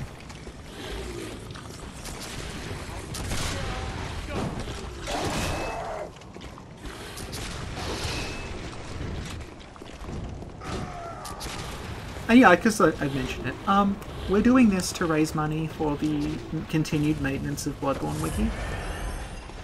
Which, um, it doesn't run ads, it's not hosted on Fandom or Fextra or Wiki or anything like that. It's entirely Meph's doing. She is paying for all the hosting, she's writing all the code, she's writing most of the pages herself. Um, and the other ones she's at least like she's involved in putting them together even if she didn't write them so that's obvious like it costs money to host things and it's a huge time investment as well so if you could kick Meph like five bucks or ten bucks at that little link down there um, that's just on Buy Me a Coffee. She doesn't have a Patreon or anything, so if you just want to kick her some money on Buy Me a Coffee just to keep the thing running, that would be great. And just, you know, to sort of you know, make up for the fact that like she's frequently like essentially working overtime to keep this thing up and running. And she deserves it. She deserves more than she's getting. I don't think we'll get a Bloodborne 2, really. I think we'll get like something that is the successor to Bloodborne.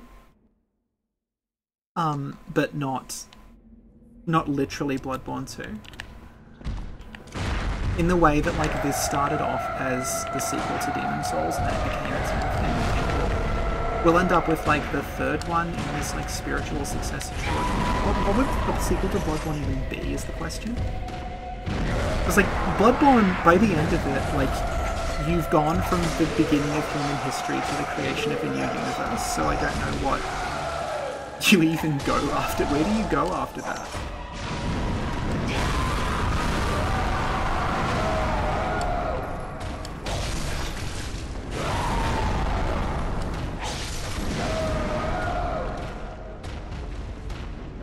I realized I'm doing this wrong. I want to keep Amelia alive. Sorry.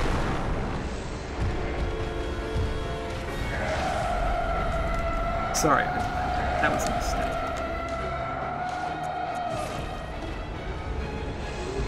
Oh, Blood! If Bloodborne 2 was sci-fi, like that would be like I can see that working.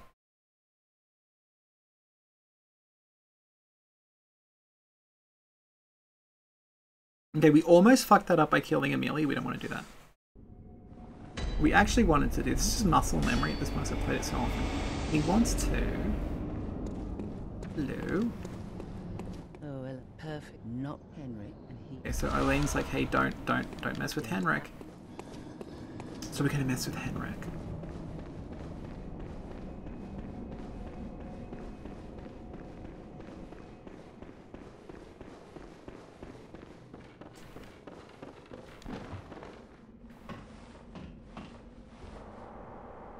Oh, Amelia, like, she... Well, okay, this is interesting, actually. Amelia does this, like, prayer thing to, like, buff herself up. And it's basically what the Blood-Starved Beast does. When it does its Poison Cloud, and it, it's trying to, like, draw on its blood to make itself stronger. But because its blood is rotten, it just manifests as this cloud of poisons. But when Amelia does it, because she's, like, not, not blood-starved, I guess, she ends up... Uh, she's kind of fine. Oh, just another little little piece of info if anyone cares. Um, oh, yeah, I know. I restored the file. Ha. That's the doll's model. Um, Viola and Gascoigne's daughter, that they just used the doll retextured. You can see, like, she's got the same boots on. Um, like, she's got kind of the same, like, she's got blonde hair, and she's got, like, the same sort of, like, cravat thing. Which, like, you could say, like, and this is what I've always said, like, She's dressed like that because that's how women in Yharnam dress, and that's why the doll dresses like it. But yeah, like that's the the technical answer is literally the doll's model. The other thing is I keep clicking the stick into sneak, like it's Elden Ring or Sekiro, which you can't do anymore.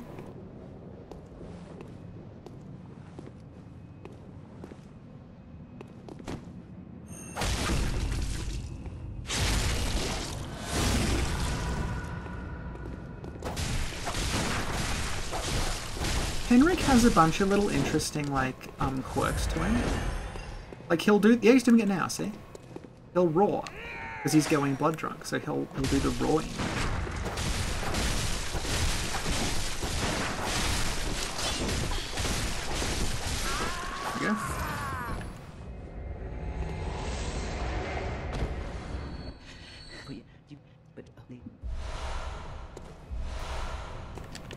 So now...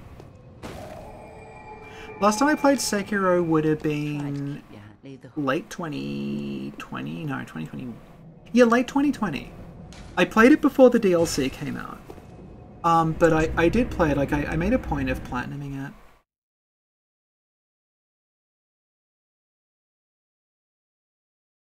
Like, I didn't have any, it was around, like, when COVID hit and no one had anything to do, so I'm just like, eh, you know, I'm gonna platinum Sekiro.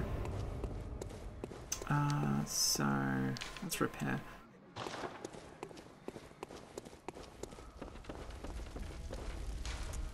I've started obsessively repairing since the last stream when my weapon broke while we were fighting Mikolash.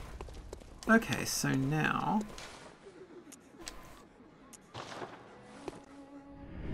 Because we saved Emil... Because we saved Eileen from Henrik. When we go into Red Moon phase, we should simultaneously get the Bloody Crow and Amelia in the same room, and it just becomes this absolute mess and they can damage each other. But obviously, like the Bloody Crows is is so so powerful that um Amelia barely scratches him and he can like one shot her. The problem with durability is like I Altair and I was streaming and I needed to put together a level 120 character like pretty quickly. So I put together this one, and just, I grabbed the first really good gem I could find, which was a cursed one, and it gave me a really big attack boost, but it also had durability down. So it was like I actually had to worry about durability. And my, if you watch it back, like it's still on the channel, my um my weapon broke during the Mikolash fight. And obviously that fight is so goddamn long, and it ended up like I just went, I am going to apply bolt paper and just use the flat damage from the bolt paper to hurt you, and just made it.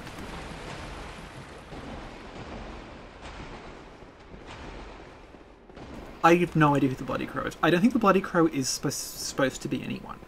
I think it's just a Knight of Cainhurst. My favorite, my favorite theory about the Bloody Crow is that it was Lawrence, and I'm like, Lawrence's skull is behind him. How does any of this make sense?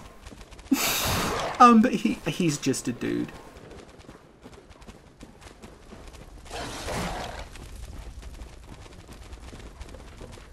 Oh, also, like, the Bloody Crow, um, I can't show, I've shown off 1.0 before. I can't now because it would involve, like, completely, like, taking everything off the PS4 and then reinstalling it and doing a bunch of shit, but um, I've played 1.0, and on 1.0 the Bloody Crow doesn't work. Like, he technically exists, but what will happen is he'll spawn in the map, and then I think literally what happens is... Oh, we died. Okay. Anyway, I think literally what happens with him is, like, he spawns in the map, and he falls through it. Because he'll appear, and you won't, like, he'll be obviously on the map, like he's registered as being there. But as soon as he loads, there's like nothing and then a scream, and then you get the echoes as if he's dead. And I don't know why that is, but his item, I think, is still in the same position. So I think what's happening is he's actually loading like outside the map and he just falls out of bounds and dies. It's something like that. Yeah, he could be Eileen's apprentice. Um, the other thing is like prior to Maria existing, which people like forget that like there was a period of about seven months where people were trying to like talk about the Bloodborne story without the old hunters. So, and in that, there's references to like Gehrman having an apprentice, and there's like connections between like the apprentice and the doll, and um, like the doll was praying at the grave of the apprentice and stuff. So, like back then, I was like, is the apprentice the bloody crow? Like, does Gehrman's apprentice like go to Cainhurst and fall in love with this like woman who then he made the doll out of?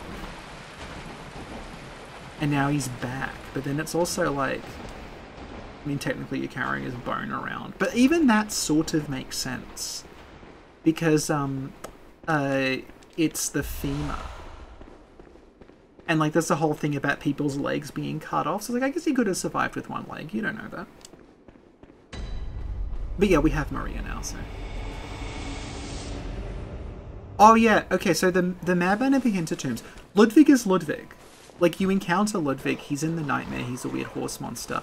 Um, it specifies like he did transform, so Ludwig wouldn't still be like if you did encounter Ludwig, he wouldn't be like Ludwig. He would be like a weird monster. Because that did happen to him. Um, the reason people say it's the Madman, again, this is like pre-Old Hunters, we didn't have a Ludwig fight. But there was this guy in the Chalices who was like, he was wearing Tomb Prospector armor and he had Ludwig's weapons, so it's like, oh, maybe that's Ludwig. And like again, there was no Old Hunters. It's it's a you know possible way of explaining what the hell was going on. But um, yeah, we know now. I think that dude is just a madman.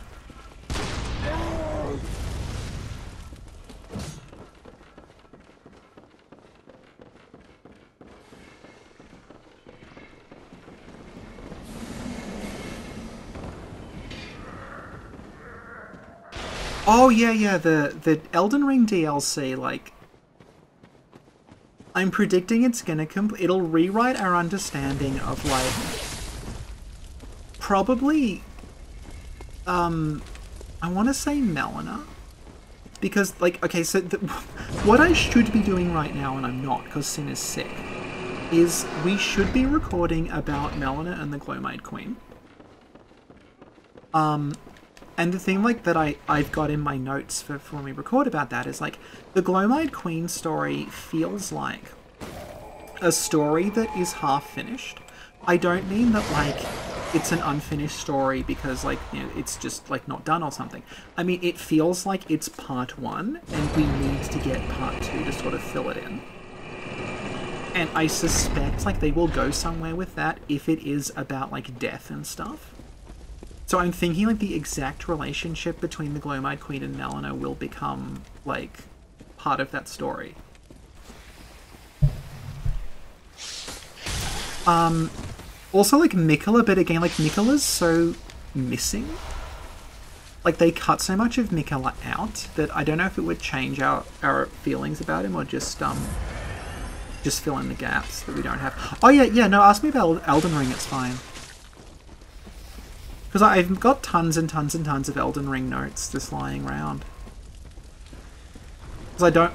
The problem is, like, obviously I like Bloodborne a lot, um, probably more than Elden Ring. But, like, what happened is because Bloodborne was the first game I ever did a serious project with, all my Bloodborne, like, notes and footage and everything ended up, like, a mess. And I learned from that how to handle Elden Ring. So, like, our Elden Ring stuff's actually very efficient. Like, we have a very good sort of production line going on, but I feel bad that, like, I wasn't able to give that degree of, like, um, that degree of of care and attention to Bloodborne because obviously like Bloodborne is is like still number one for me. And I know Meph feels that way as well, and that's why she's always working on the wiki because she's like, I know how to do this properly now, so I'm just going to go back and do it. The problem is if you if you've got YouTube videos up, they just stay up.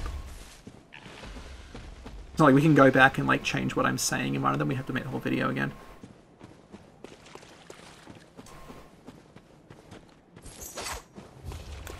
Okay.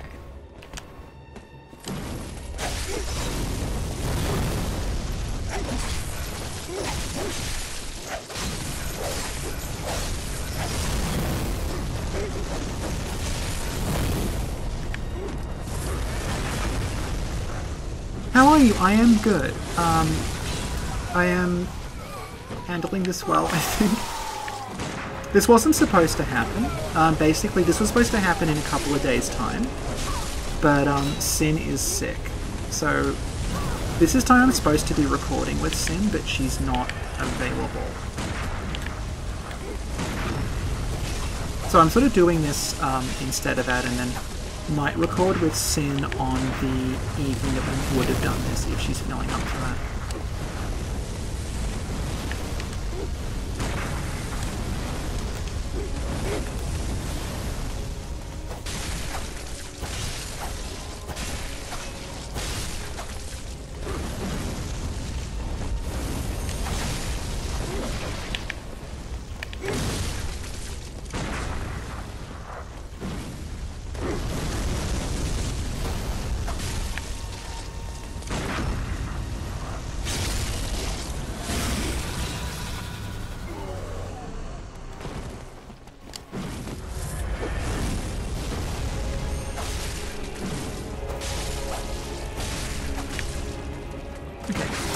So, um, little, I guess, I brought this up last time uh, with Altair, but I know a lot of people here weren't there uh, when we did that. So, Shadows of Yharnam currently drop Blood Rapture, but if you play the game on version 1.0, they don't drop anything. Um, but it's not quite that simple because it's not that they don't drop anything, it's that they they drop nothing but the game registers them as having dropped something. So what will happen is you won't get anything for killing them. But then, if you go into, say, like, if you patch the game and you play through it again, you still can't get Blood Rapture because the game registers you as having killed the Shadows of Yharnam and gotten a drop, so you'll still never get Blood Rapture. And, um, I think the reason that is, is that I know that there is another version of this where they dropped the key to the Byrgenwerth door. Like, instead of there just being a fog wall, there was like a locked door and you had to, to kill them and they dropped the key that opened it. And they were called the Keepers of the Secret instead of the Shadows of Yharnam. I did light the Byrgenwerth lamp, didn't I? We'll find out soon.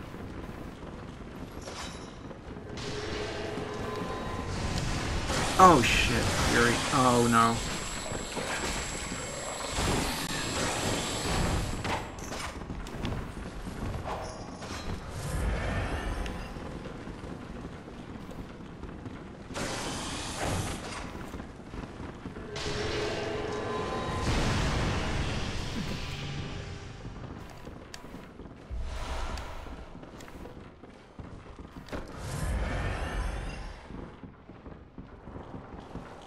There's no reason for you to not be able to get multiple copies of the same rune.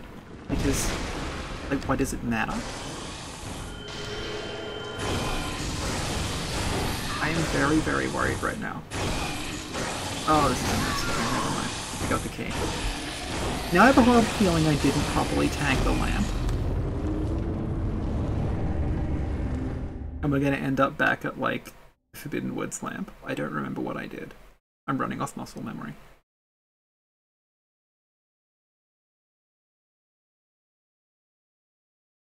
My eye is twitching.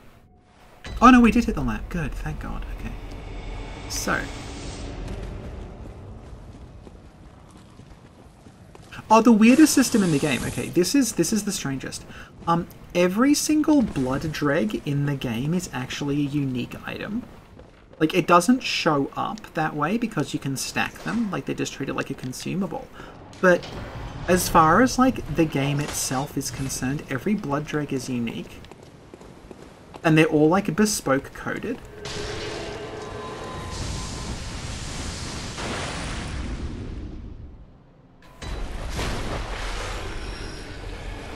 Sometimes Yuri falls out of the sky after you because she didn't like it.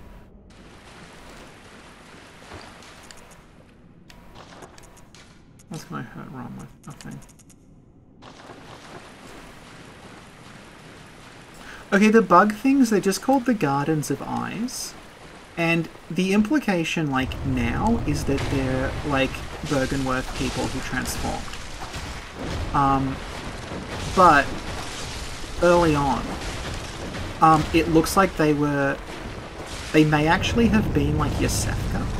Like the Iosefka character's second form, because they're, they're wearing the white robes of the Healing Church.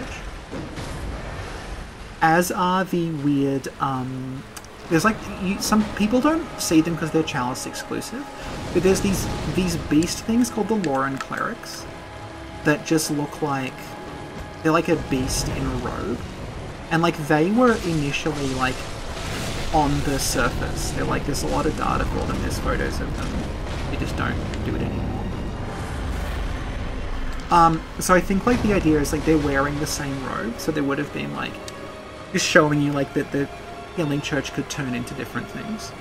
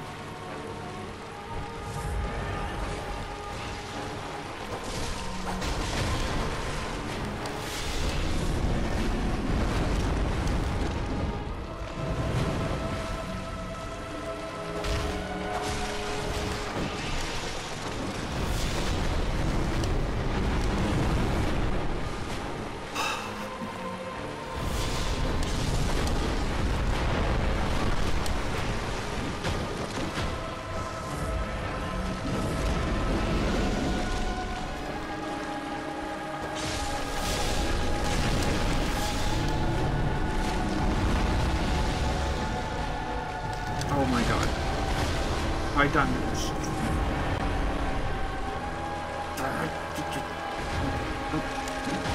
Ah.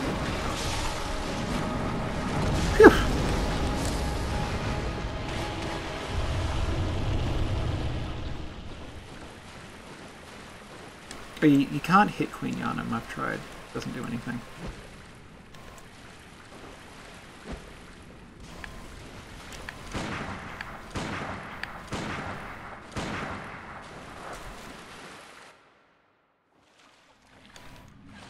Okay, so if this worked. We say that a lot if this worked.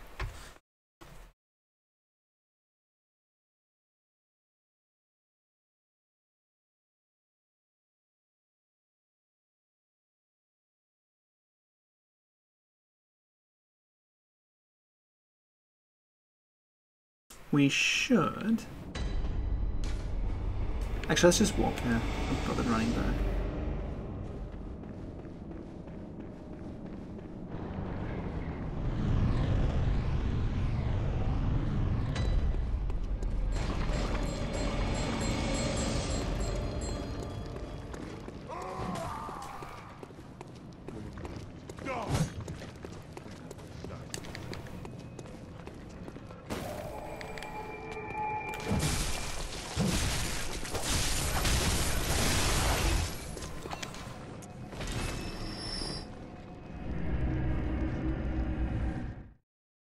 Yeah, yeah. So when when God, when the game first came out, we didn't have official enemy names. So you can find a lot of like wikis and things from that period of time that will call them Mi-Go, the Garden of Eyes Mi-Go, because they like resemble the Lovecraft Mi-Go. But um, no, they're just Garden of Eyes. Um, the Fextra wiki came up with its own names for everything, and they stuck in a lot of cases. Like I remember um the the Cainhurst ghost, they were called the Bound Widows.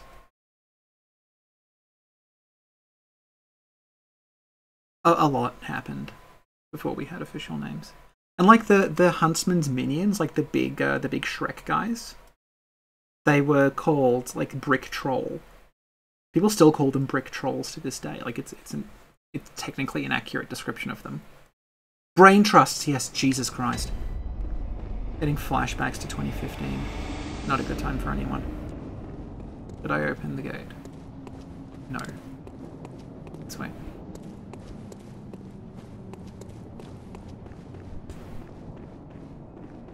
Oh, yeah, Fextra coming up with its own names actually did affect stuff because I remember going, oh, Bound Widows. Those are clearly the names of the ghosts, therefore. Like, and I guess, like, it's technically correct. Like, I think they are supposed to be, like, the wives or the, like, the consorts or whatever of the knights that are dead. So that sort of makes sense as a name, but... You know, I was taking that as canon. And they're literally just called Forsaken Castle's Spirit now. I just want to open the shortcut back to Erden because I don't like we're not going to survive this fight. I can bring Henriette. I didn't. Okay, this is interesting.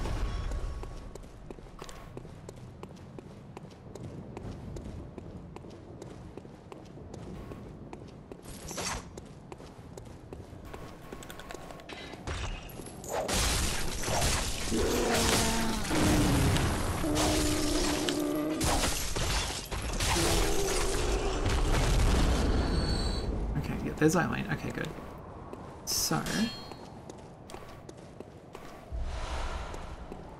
Clear out this guy.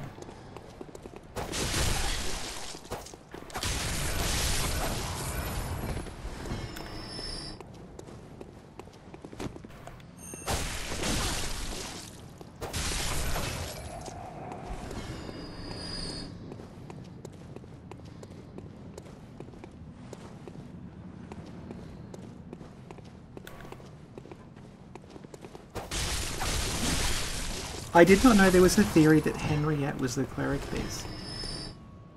I think that doesn't work because Henriette's meant to be like she was a hunter a long time ago. and the cleric beast like well okay we'll, we'll look at her when she shows up so like um she's wearing like the sort of the city it's called like the, the like the hunter the hunter garb that's associated with like kind of like hunters who like work in the city and everything whereas the cleric beast is implied to be like the captain of the church knights like the he's the holder of the the sword badge. So you'd expect the cleric beast to be wearing like the the like the tomb prospector's outfit or something like that or henriette what are you doing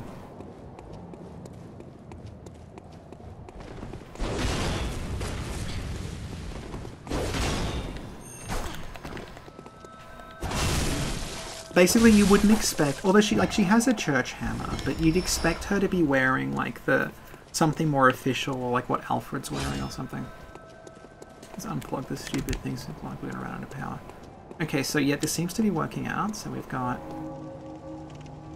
henriette we've got eileen I'm afraid I go. What the fuck is that? Turn back. okay so if this works out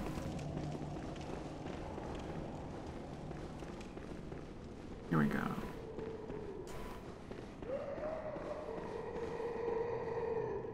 Yeah, okay, so I, I don't know if you can make it out on the stream, but the Bloody Crow and Amelia are both in there, so it's gonna be 2v2.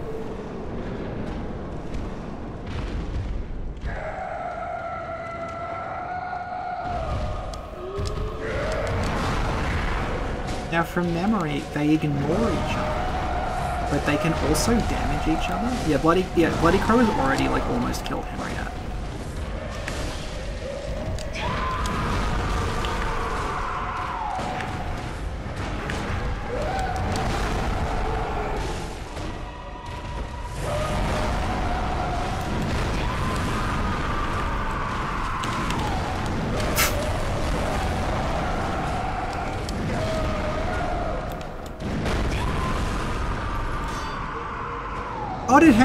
Actually carry the Bloody Crow? That's pretty... I was not expecting that. Okay. So if we if we can get in between... Oh no, they don't... Yeah, okay, Eileen and, and Amelia can damage each other, but I don't think these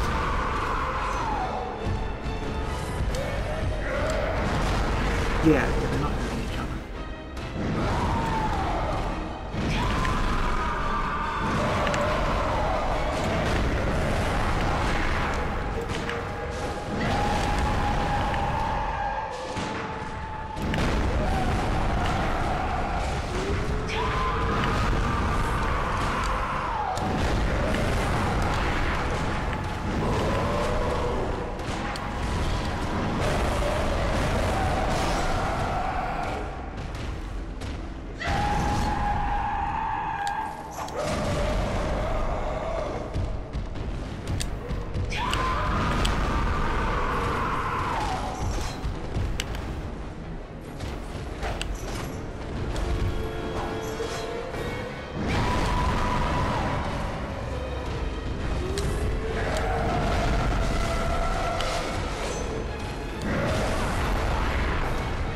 there's no way we're gonna do this, but it's sort of amusing to watch this movie.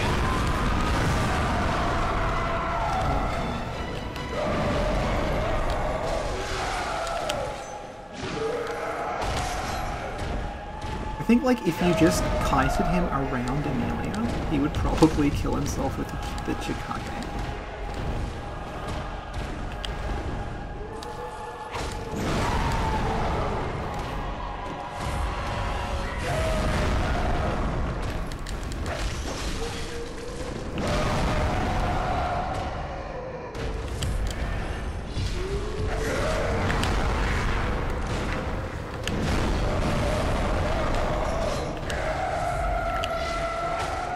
I don't think Shaman work.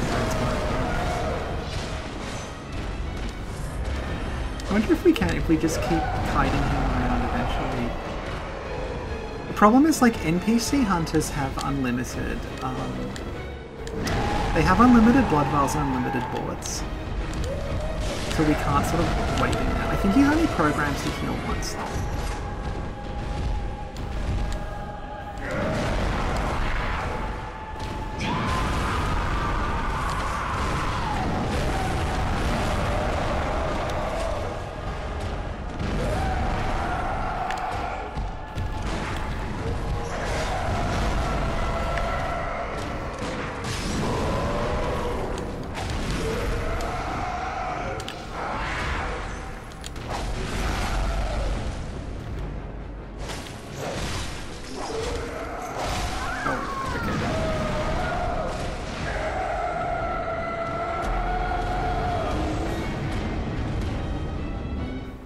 We didn't kill either of them, so they'll both still be there if we go back again. You can also do this with Eileen, like I was saying. Um, how long have we been going for? Two and a half hours. I don't think of anything else we can show off with the time zones. Um, how about we do the Eileen one to like finish up? That's a lot shorter if you don't need to worry about Henryk. Yeah, there's a bunch of NPC teams. I'll actually show that off uh, when we get to showing off the wiki because someone made a big chart of like what enemy team fights what team. It's just. Oh, okay, we're actually running out of battery. Like I was saying, my uh, controller doesn't like to charge up a lot of the time. Even though it's plugged in, it'll still like. I think it's like there's something bent or something in it and it doesn't quite connect properly. Okay. Oh, that, that wallpaper, by the way, that's some um, Allison and I's Dark Souls characters in the kiln. We went on a date in Lordran. That's a little snap from it.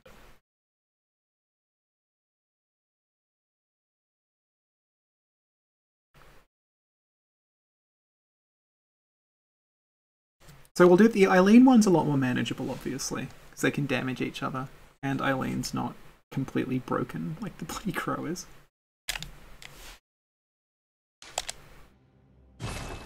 So we shall have to go actually trigger Eileen's quest, and then we can just run through and fight. So we're gonna fight Rom three times on one stream.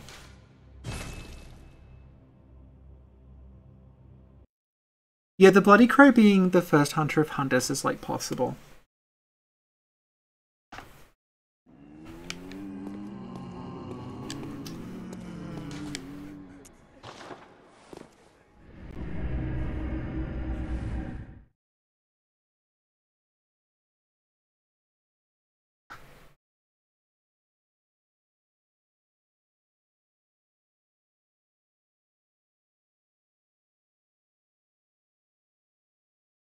Okay, see you, Bagel gone. Bagel gone? Bagel gone. Bye bye.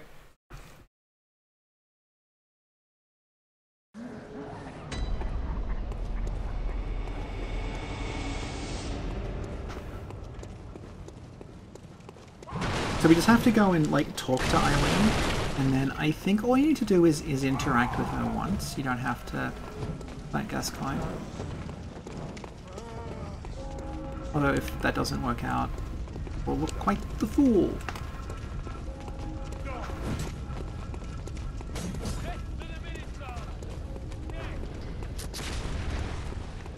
Maybe we should beat because it barely takes any time, just to be on the safe side.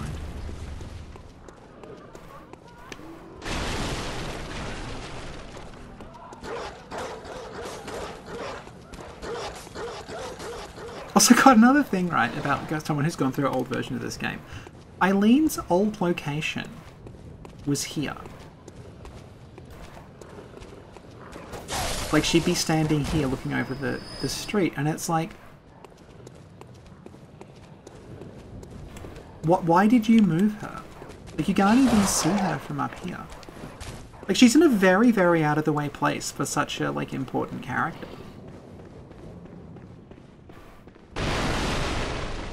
Like, I get it if this was like a secret or something, but they really expect you to find Eileen.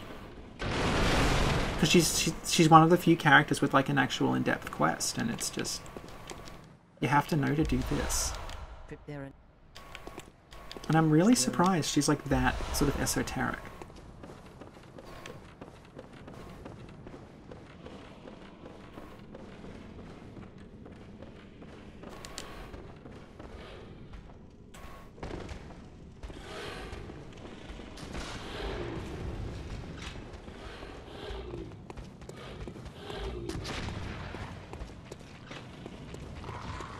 Hey, Rorik.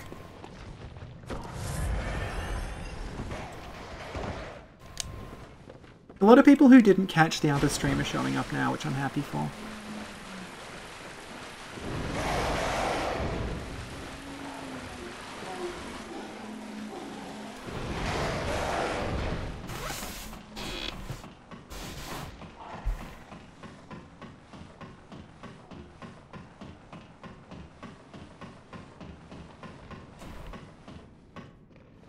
A surprise cat cameo behind me.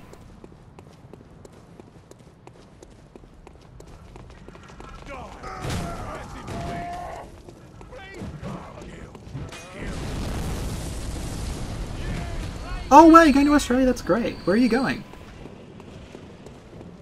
It's it's quite a large place.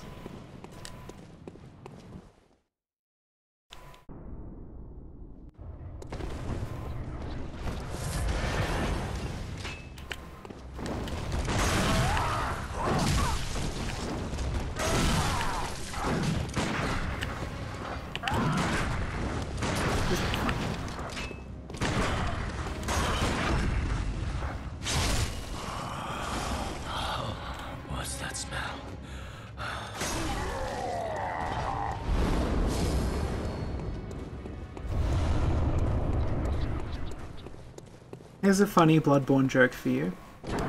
My Gascoigne has no nose. How does he smell? The blood sings to him.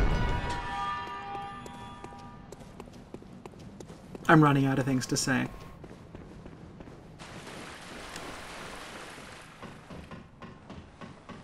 Oh, Melbourne, cool. That's near where I live. I live about uh, 90 minutes from Melbourne, which is our version of near, because everywhere's so far apart. I remember, God, this came. This is like another wiki story. Like, um, I live in the same state as Lance McDonald, and he had some Bloodborne stuff that Meph wanted to be scanned for the wiki. And I was saying to her, like, oh yeah, I live in the same state as Lance. And she's like, do you reckon we could get it off him? And, um, it then became apparent that our concept of what constitutes a state varies wildly. Because my state is the size of her entire country. And she assumed that it would just be like, like a 15 minute bus ride or something, and it, it took 11 hours. It was on a train like the whole day. Messaging people every time I got somewhere with reception. But we got it. We got the press kit. Okay, so. Yharnamites have very rare dialogue, which I, I will talk about. Uh, oh, you need to have the stupid thing open, don't you? Uh. Yharnamites have very, very rare dialogue. That is, it's tied to a specific animation. Someone brought up the trolls saying sister earlier, and I think it might be the same story for them. Basically, the Yharnamites with the torches, they have this animation where they they go like this. Um, it's not an attack; it's like a defensive thing where they're trying to stop you from touching them. And when they do that specific animation, they say lines they don't otherwise say. That's where like lines like um "death to the minister" comes from. Because people say I was I was in Bloodborne and they said "death to the minister." What triggers that? And we, we're like, is it what you're wearing? Um, is it like something you've done in the game? And the answer is it's literally just that animation. Because that animation, for some reason, I think it's like I'm assuming that just there's like a table with the dialogue and the pointer is off for that one animation, so it points at the wrong part of the table and plays old dialogue. But it's a lot more interesting than um, than just saying death to the minister because they have they have two lines which are um, Idola will be the judge, and this is the judgment of Luvan. And obviously, Idola and Luvan they're not in the game. Who were they? And there's a, another cut one that doesn't play, but it was recorded because it's still like if you look in the files, it's there, where they say um, Aragon's justice, like Ar- Aragon's justice, and yeah, there's like so like Lu- Luvan, Idola, and Aragon apparently were I guess Healing Church characters or something at some point in development and they just they never made it beyond that line.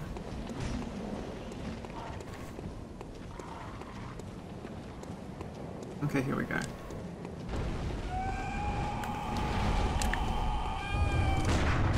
I apologize for this. I'm just going to make sure I can get into the Cathedral Ward to talk to Eileen. But I don't want to have to redo this if it's wrong.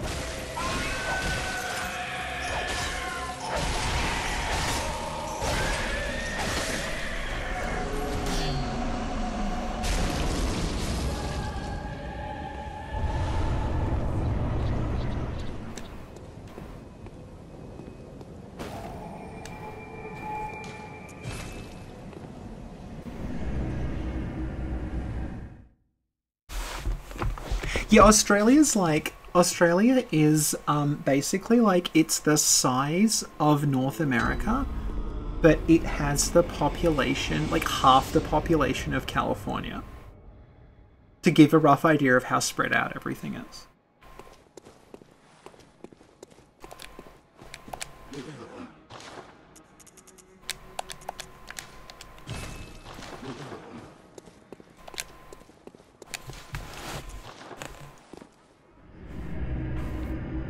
It's like I live in a in a state that has six million people in it, but five million of them live in one city. So it's just like Melbourne and then a bunch of other cities that are like satellites, and I'm in one of those. So the place I'm in's got it's like a hundred thousand people, but Melbourne is like five million. North America is technically larger, but like it's about the same size. Like that's the best way of explaining it. Is it's like if you imagine that North America was just half the population of California spread out across that space. That's kind of what Australia's density is like. Yes, he's not there, okay.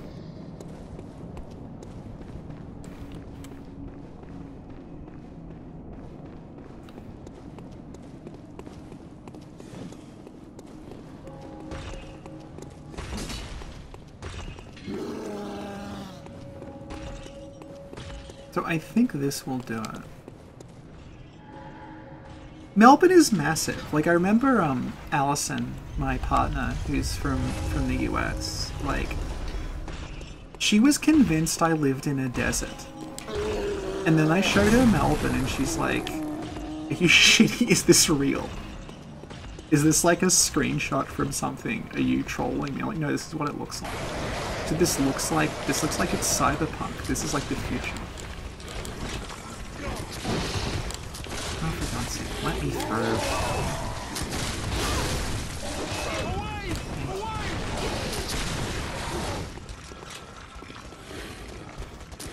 Oh yeah, speaking of Canada, like I remember I was this was actually in an episode. I don't know which one it was, but like Sin and I were talking about where we live.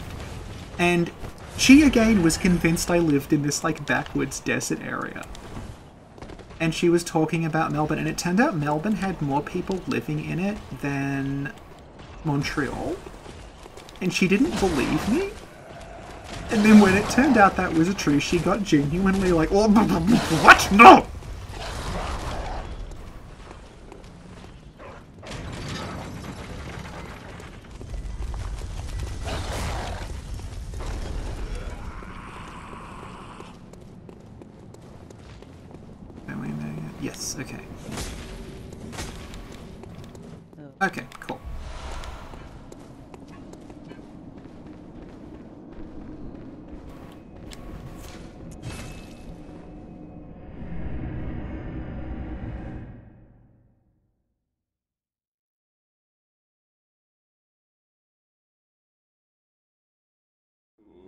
Okay, so we've got Eileen talking to us, so now we finally get to go.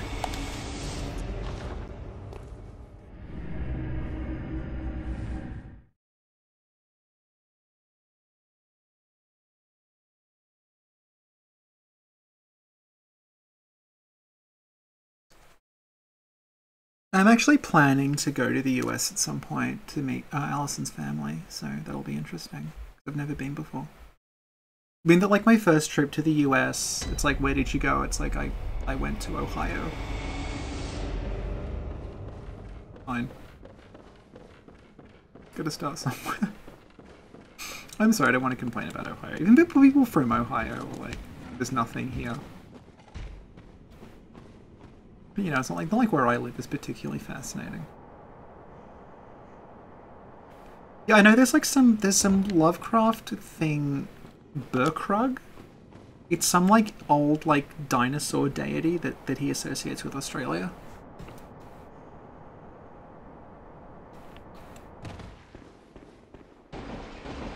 Or Borkrug?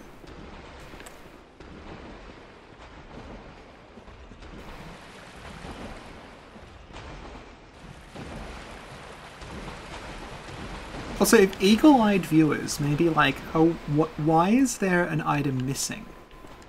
Because there should be a frenzied cold blood on that um, that corpse, and the reason is that what I did was when I created this character, because I was on um, version 1.0 that had a working dupe glitch.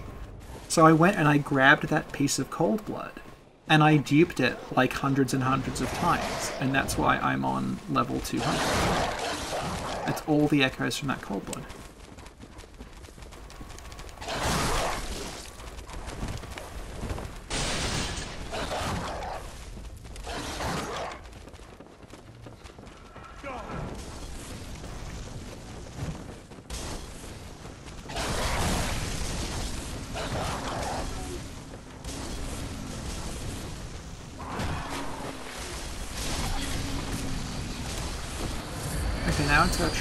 The cannon can still one-shot us at level 200.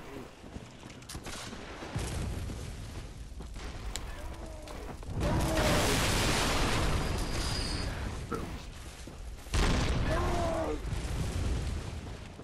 Oh, one of my friends are from Ohio.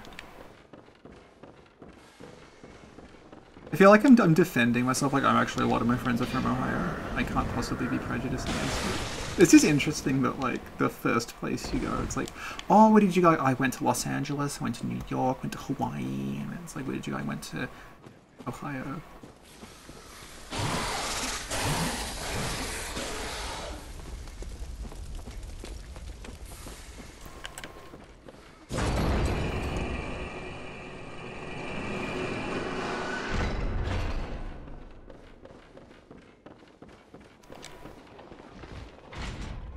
I'm just doing this in case we die. It's like not likely, but happen.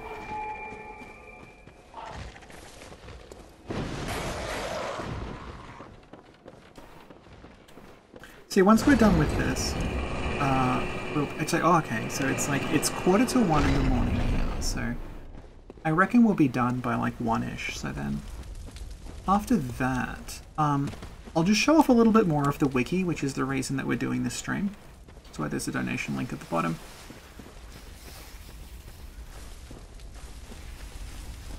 Like how this has just become a stream about Ohio.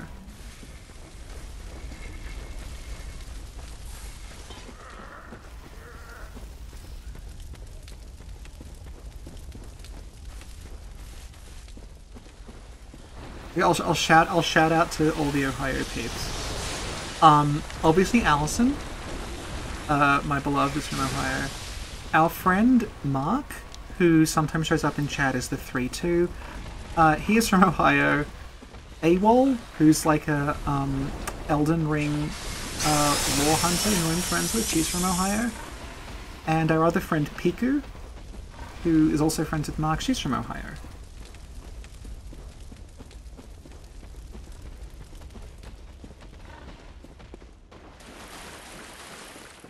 This is actually remarkably similar to the climate where I live, this sort of area here. This is sort of very misty, kind of humid, swampy place. I've told the story before, but like when um, Old Hunters launched, it was summer here, because we're in the southern hemisphere. So Old Hunters came out and it was really hot and sticky. And then when I got to the fishing hamlet, I was just like, oh, that looks so nice. Why can't it just be cold and crisp again? Anyway, here we go. Hopefully the final time we have to see the Shadows of Yharnam on stream. Uh, just...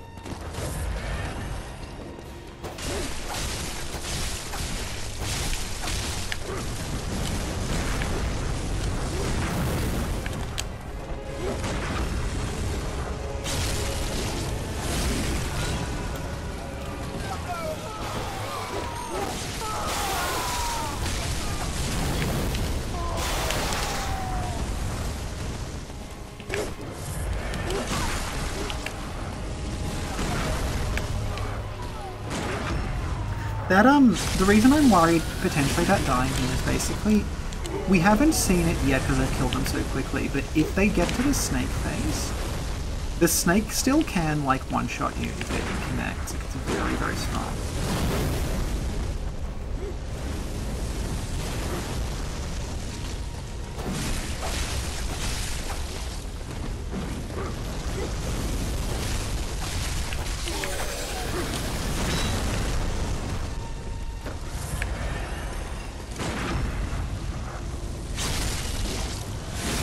Okay, speaking of like places where Yahar'gul is, um, remember when I was on the way to see Lance, I showed Sin like a map of all the places we were going through, and one of them's called Warrigal, and she's like, Warrigal, unseen village.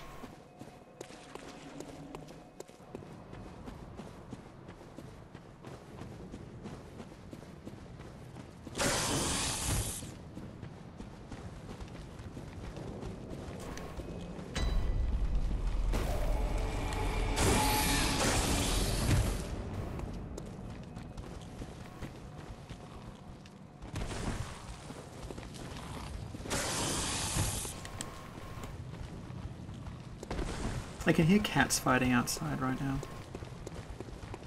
And spitting at each other. Ingrid Ingrid is 17 years old and her back legs don't work properly. But then her nemesis is also like a 17, 18 year old cat. That's also like completely non-agile. So basically they run into each other and they just sit there going, oh, but not actually doing anything.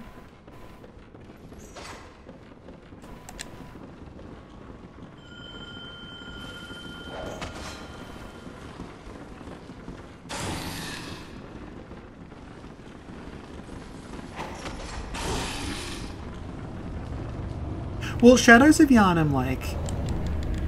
People might know this because I know a lot of people that follow us follow, like, Lance and the data mining and stuff. But, um, Shadows of Yharnam originally that was that was the snake. Like the um the the snake that they summon out of the ground that was the boss. Hello ingrid checking she's okay. Um might actually just kill myself.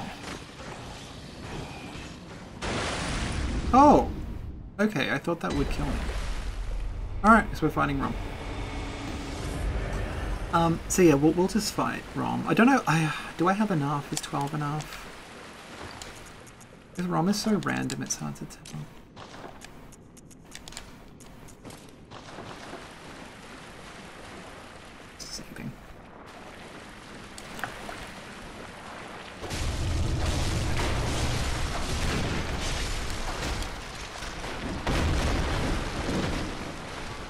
If anyone like remembers when Altair and I did this the other day, um, it was very much the opposite of this. Like I just showed up with a beast cutter, not the beast, the, the whirligig saw and beast blood, and I just propped the beast blood and held L2 and Rom died and like was just like watching the health bar just melt.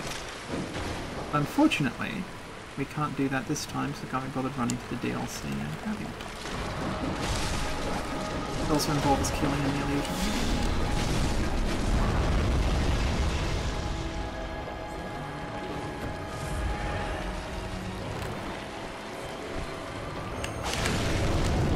If you time it right, you can actually, um, you can stack stagger Rom out of her teleport and she just stays there. But I don't know enough about the mechanics to do it consistently.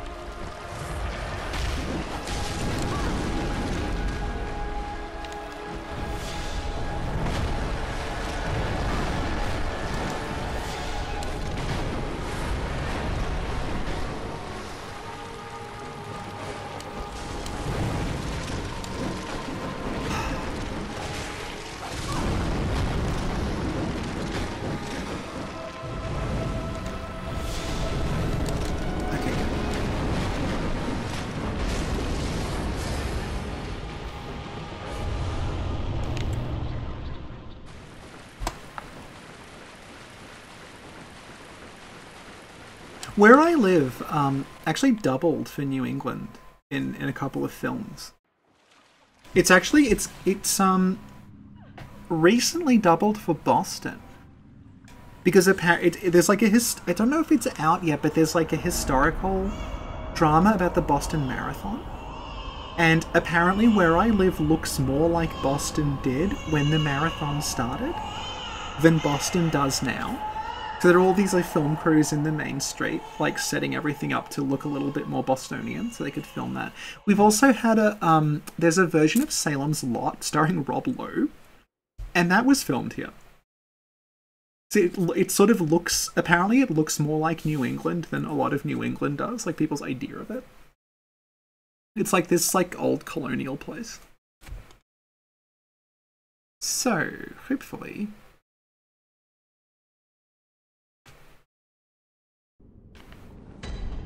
we just run back.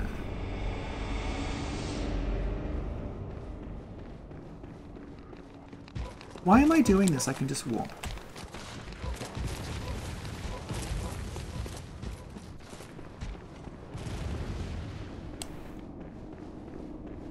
Right, to make sure we don't get grabbed because it can it can soft lock you sometimes. Not not we should be fine now, but basically an example of a soft lock would be like if you walked here and then you um you got locked out you have to go and beat Gascoigne but if you beat Gascoigne it would reset the time to the afternoon and you couldn't open that door again so you'd never be able to progress. So you want to always make sure you can grab this lantern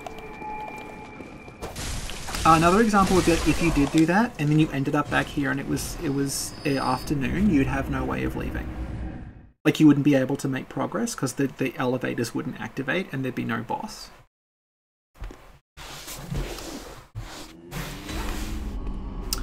So now.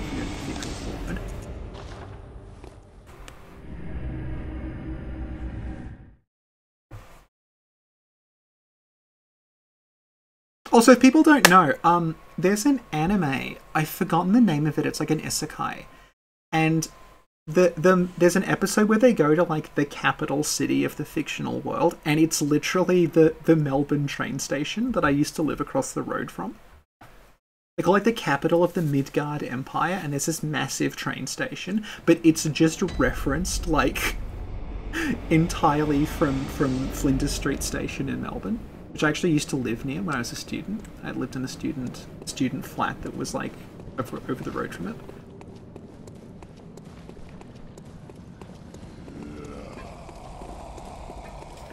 Should we bring Henriett again? Hmm.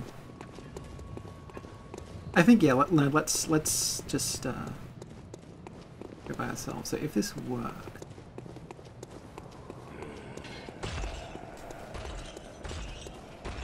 so I'm hoping this worked. If it did, we should get Eileen and Amelia in the fight together.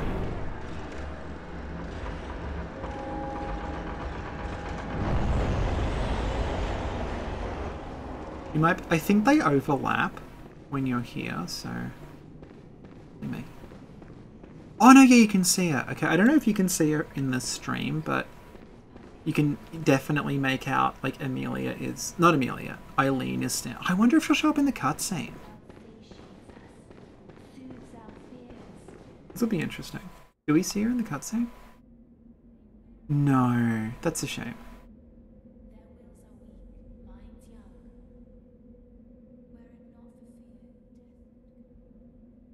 So, people who don't know, um, Amelia is a Bell Maiden. That's why she's got her face covered. Because if they moved her face, if you could see her face, she'd have like the decayed zombie face. They just give her this like flesh texture. It kind of works on the hands, but she has she has like the decayed monster face under that. So that's why you never see her. And this is all done um, by just like merging the two models together out of shot and having light go through it to create this like um, the shadow changing. But there's no um, there's no like actual transformation animation. It's just they just like shadow puppets. Like they hold them out of camera and make them move around.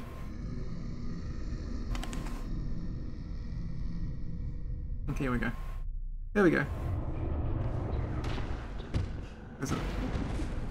We've got Eileen and together.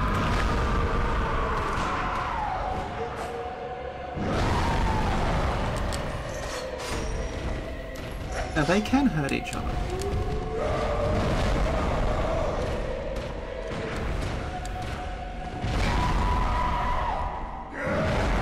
You can see she's uh, Eileen's actually taking health off Amelia as she like shoots her. Because they, they they don't target each other, but they can still. Yes, like Amelia's hitting Eileen. Doesn't do very much damage, but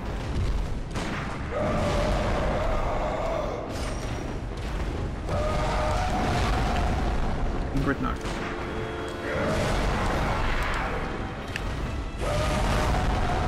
Sorry, Ingrid is.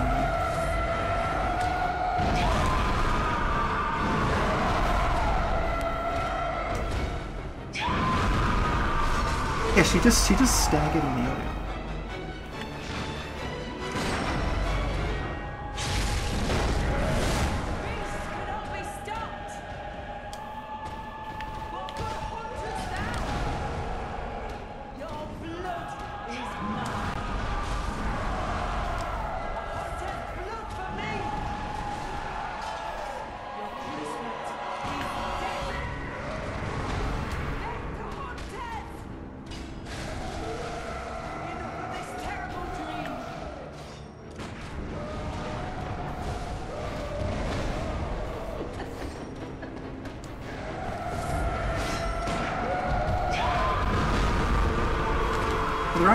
much the same amount. I wonder who win. Oh my god! Did she kill that? Oh no, it's still doing okay. Ah, and Amelia's healing. Okay.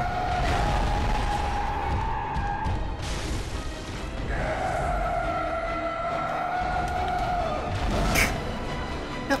Amelia killed Eileen. Just like how Ludwig killed Maria.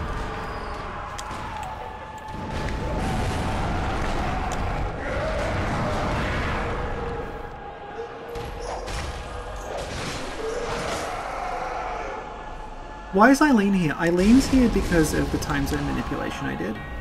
So basically, you, you trigger Eileen to go into that state, but you can do it without killing Amelia. So then when you head up here, Amelia shows up. Um, Eileen and Amelia both show up at the same time. We did it with the Bloody Crow, but obviously that was like borderline impossible. Anyway, that was it. That was uh, pretty much it. Actually, no, it's nighttime again, so like we can, I don't know. I think we showed off pretty much everything we could at night time. We'll just go to Yahar'gul to finish up, to show it again so it looks nice.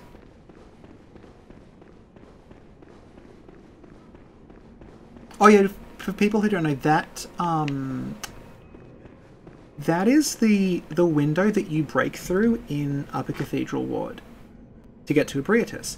And the reason the Cleric Beast has that jumping animation is that he was going to jump out of that window originally, like you would. We can actually show it off when I'm done. Basically, you'd come here, the skull would be there.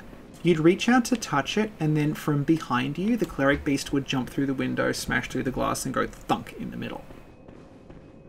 And then the... Poor person.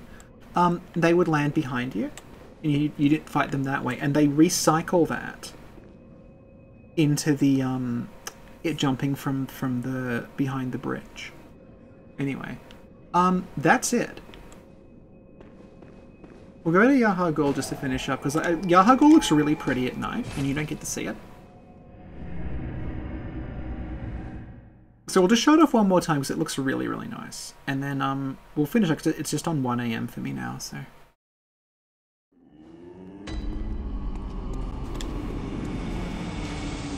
We won't be able to get to the second half. I'll, I'll show you how that works.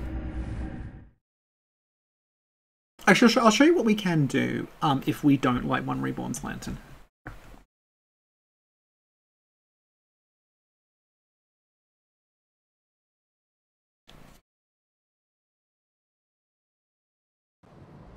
We're back in nighttime, Yahar'gul.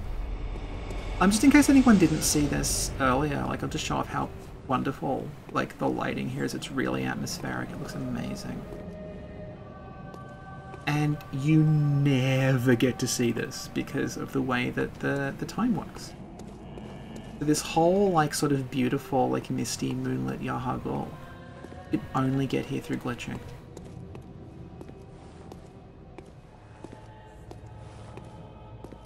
So I'll just show you um, how this works. So we have sort of no means to like interact with a lot of Yahar'gul.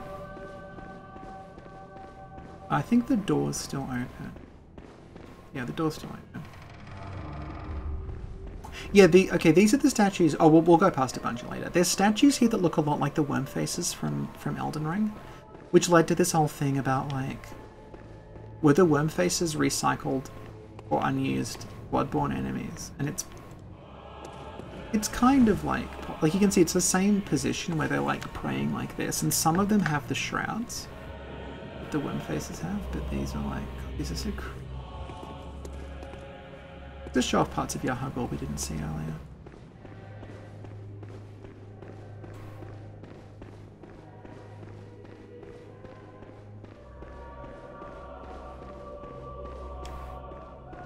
So these doors open, but I think some other ones won't. And the, the point is the elevators don't work in this state.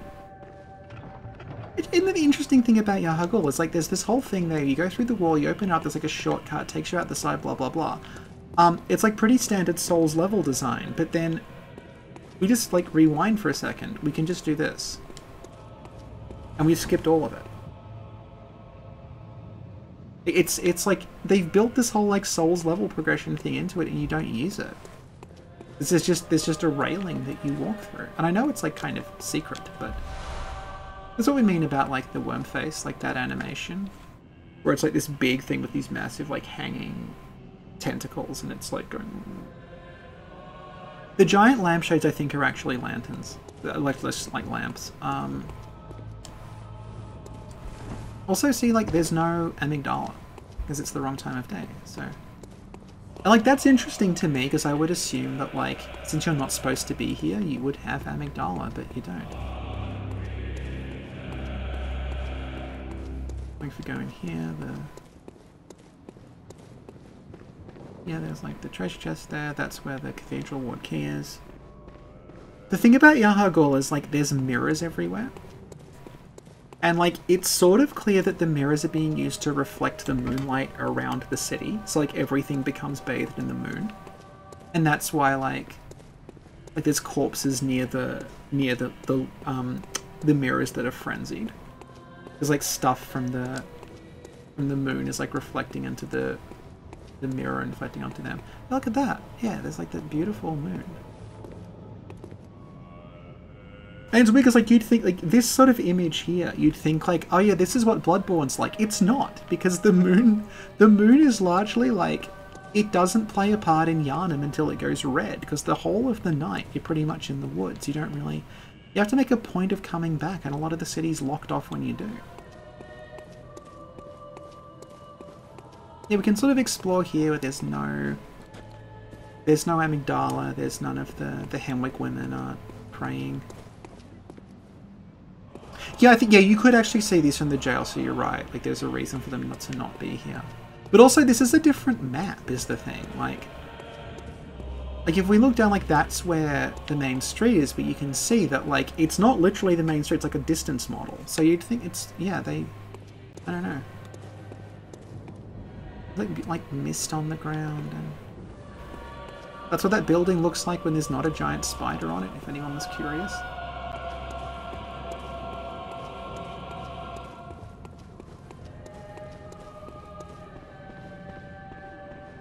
And you can see, like, because it's a different time of day, the Snatcher is there. We don't get the, um, the, um, the three hunters like we, we normally would. Oh, look at that. That's amazing. That's like a really nice, actually, when you think about it, that's a really good position, because it's someone who's literally, like, meditating, staring at the moon. That's great. Why, why is this not in the game? Why do I have to glitch to see this? Like, it's so bright as well. Like, I'm not an expert on the skyboxes, but I'm fairly sure it never gets that bright normally. This might actually be like an unused lighting setting. I don't know. But yeah, like it's so like and like it being so empty yeah, eerie, like the way that it, it's like so empty and just like quiet and it's this like moon that's like bathing everything in this really bright light and there's mist everywhere.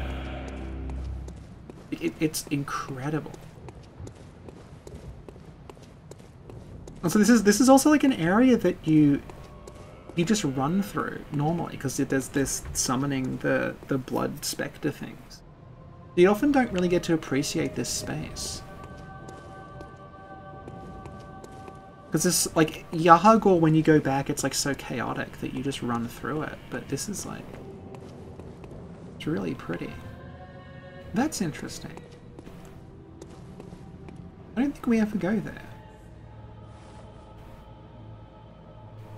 Uh, yeah, I think I think that's like an out of bounds area. But there's all these like doors and things. I brought this up before, but a lot of the distance, the the buildings in the distance here, they're actually just 2D images of buildings that they kind of stack to bulk out the skyline. They're not actually 3D objects. It works really well. Like everything about this is like the art direction is so good. It doesn't matter that sometimes the lighting's a little off and they take shortcuts and stuff. Who's that? Oh yeah, this is this is the bridge you go under, and that's like that leads you back into the jail. But then that area there, I'm pretty sure you never go to.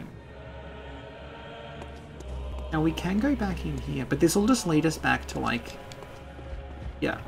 So this is just leading us back into like the normal Yahar'gul. So from this point onward, it's assumed to be the same as before.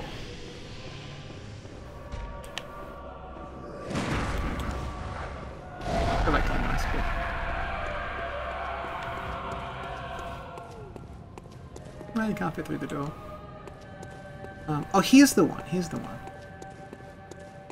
This is like what we mean about the worm face. Oh, actually, there's a really nice worm face one in the um, in the main street. Nothing should really pose a problem.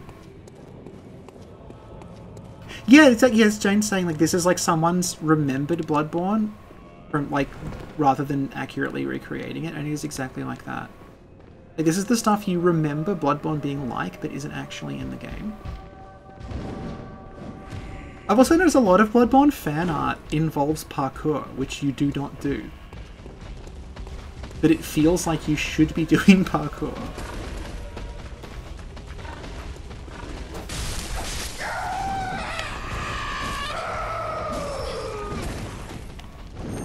I just want to show off a statue, my life.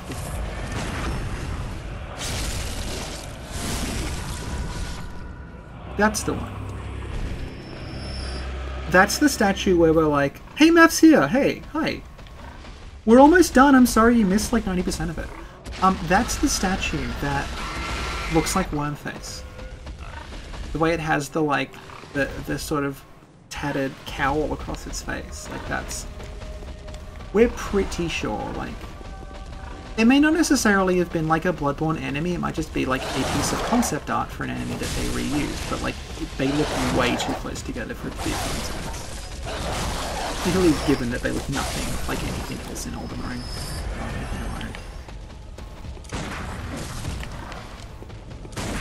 Why am I bothering? I'm just cleaning house at this point.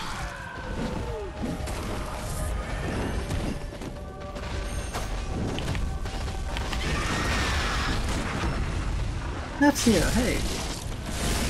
Oh, thank you for being here. So yeah, um, I don't know if you saw, but we were, we were showing off Yahar'gul at different times of day. We can still go back there because the door will stay open. My controller is being a pain in the ass. Keeps disconnecting itself. There we go. We were just showing off um, the nighttime Yahar'gul lighting. I was thinking, like, if they ever did something with Bloodborne, um, the sneaking and the jumping from Elden Ring and Sekiro, like, I think they would really, really really have been an asset to this. Like if they ever did like not a Bloodborne 2, but like a similar sort of game, um, having that extra movement and like the focus on stealth, it just it really fits with like the vibe this place has going.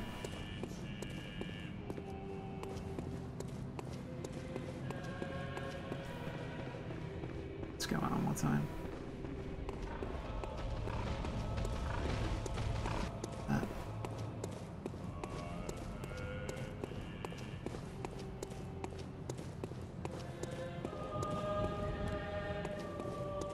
Yeah, the, st- the stealth is like you can. Okay, the, the part that always makes me think of stealth. Actually, I'm not going to show it off. 'cause I've been through this game three times already tonight. But like the part that always makes me think of stealth is in that little lower section of Old Yharnam. Um, not Old Yharnam in Cathedral Ward. After you get in from the Hunter's Workshop, and there's like a bunch of little narrow streets. There's specifically a part that's set up where, like, if you go down an alley and you're not paying attention, you'll knock over a bunch of bottles, and the bottles make a noise. And it's like, that's so close to being like, is this alerting enemies to my presence or something like that? Like, you have to be careful where you're going, but it doesn't do anything with that as a concept. And I don't know, maybe maybe some of that ended up in Sekiro, because that's way more stealth based. Yeah, that's the um, that's the bulked out skyline. That's mostly like flat images. Anyway, I think that's it. I think we've seen basically everything we can see uh, through doing that. So I might call this a day. This will stay up if anyone wants to see. Oh, hey, Barbarian. Yeah, no, a lot of people are showing up just as we're ending, because we've been going for over three hours now, so... Um, this will stay up, so if anyone's curious about, like, you know, fucking around with the time zones, seeing, like... Like, we just had Amelia and Eileen fight each other. We've had the Bloody Crow and Amelia in the same room. Uh, we've had Yahar'gul at different times of day. I think that's pretty much all you can do. We've had Gascoigne at different times of day. Um, I think that's really all we wanted to show off. So I think uh, this is probably probably it for tonight. Um, I think like before we go, um, just because the purpose of like doing these streams now is just to raise a bit of awareness for like ways you can support the Bloodborne wiki. So someone brought up uh, the Cleric Beast cutscene, so I might actually show that off uh, now that we're done. So let's just fix download our old file again. And we want to go download.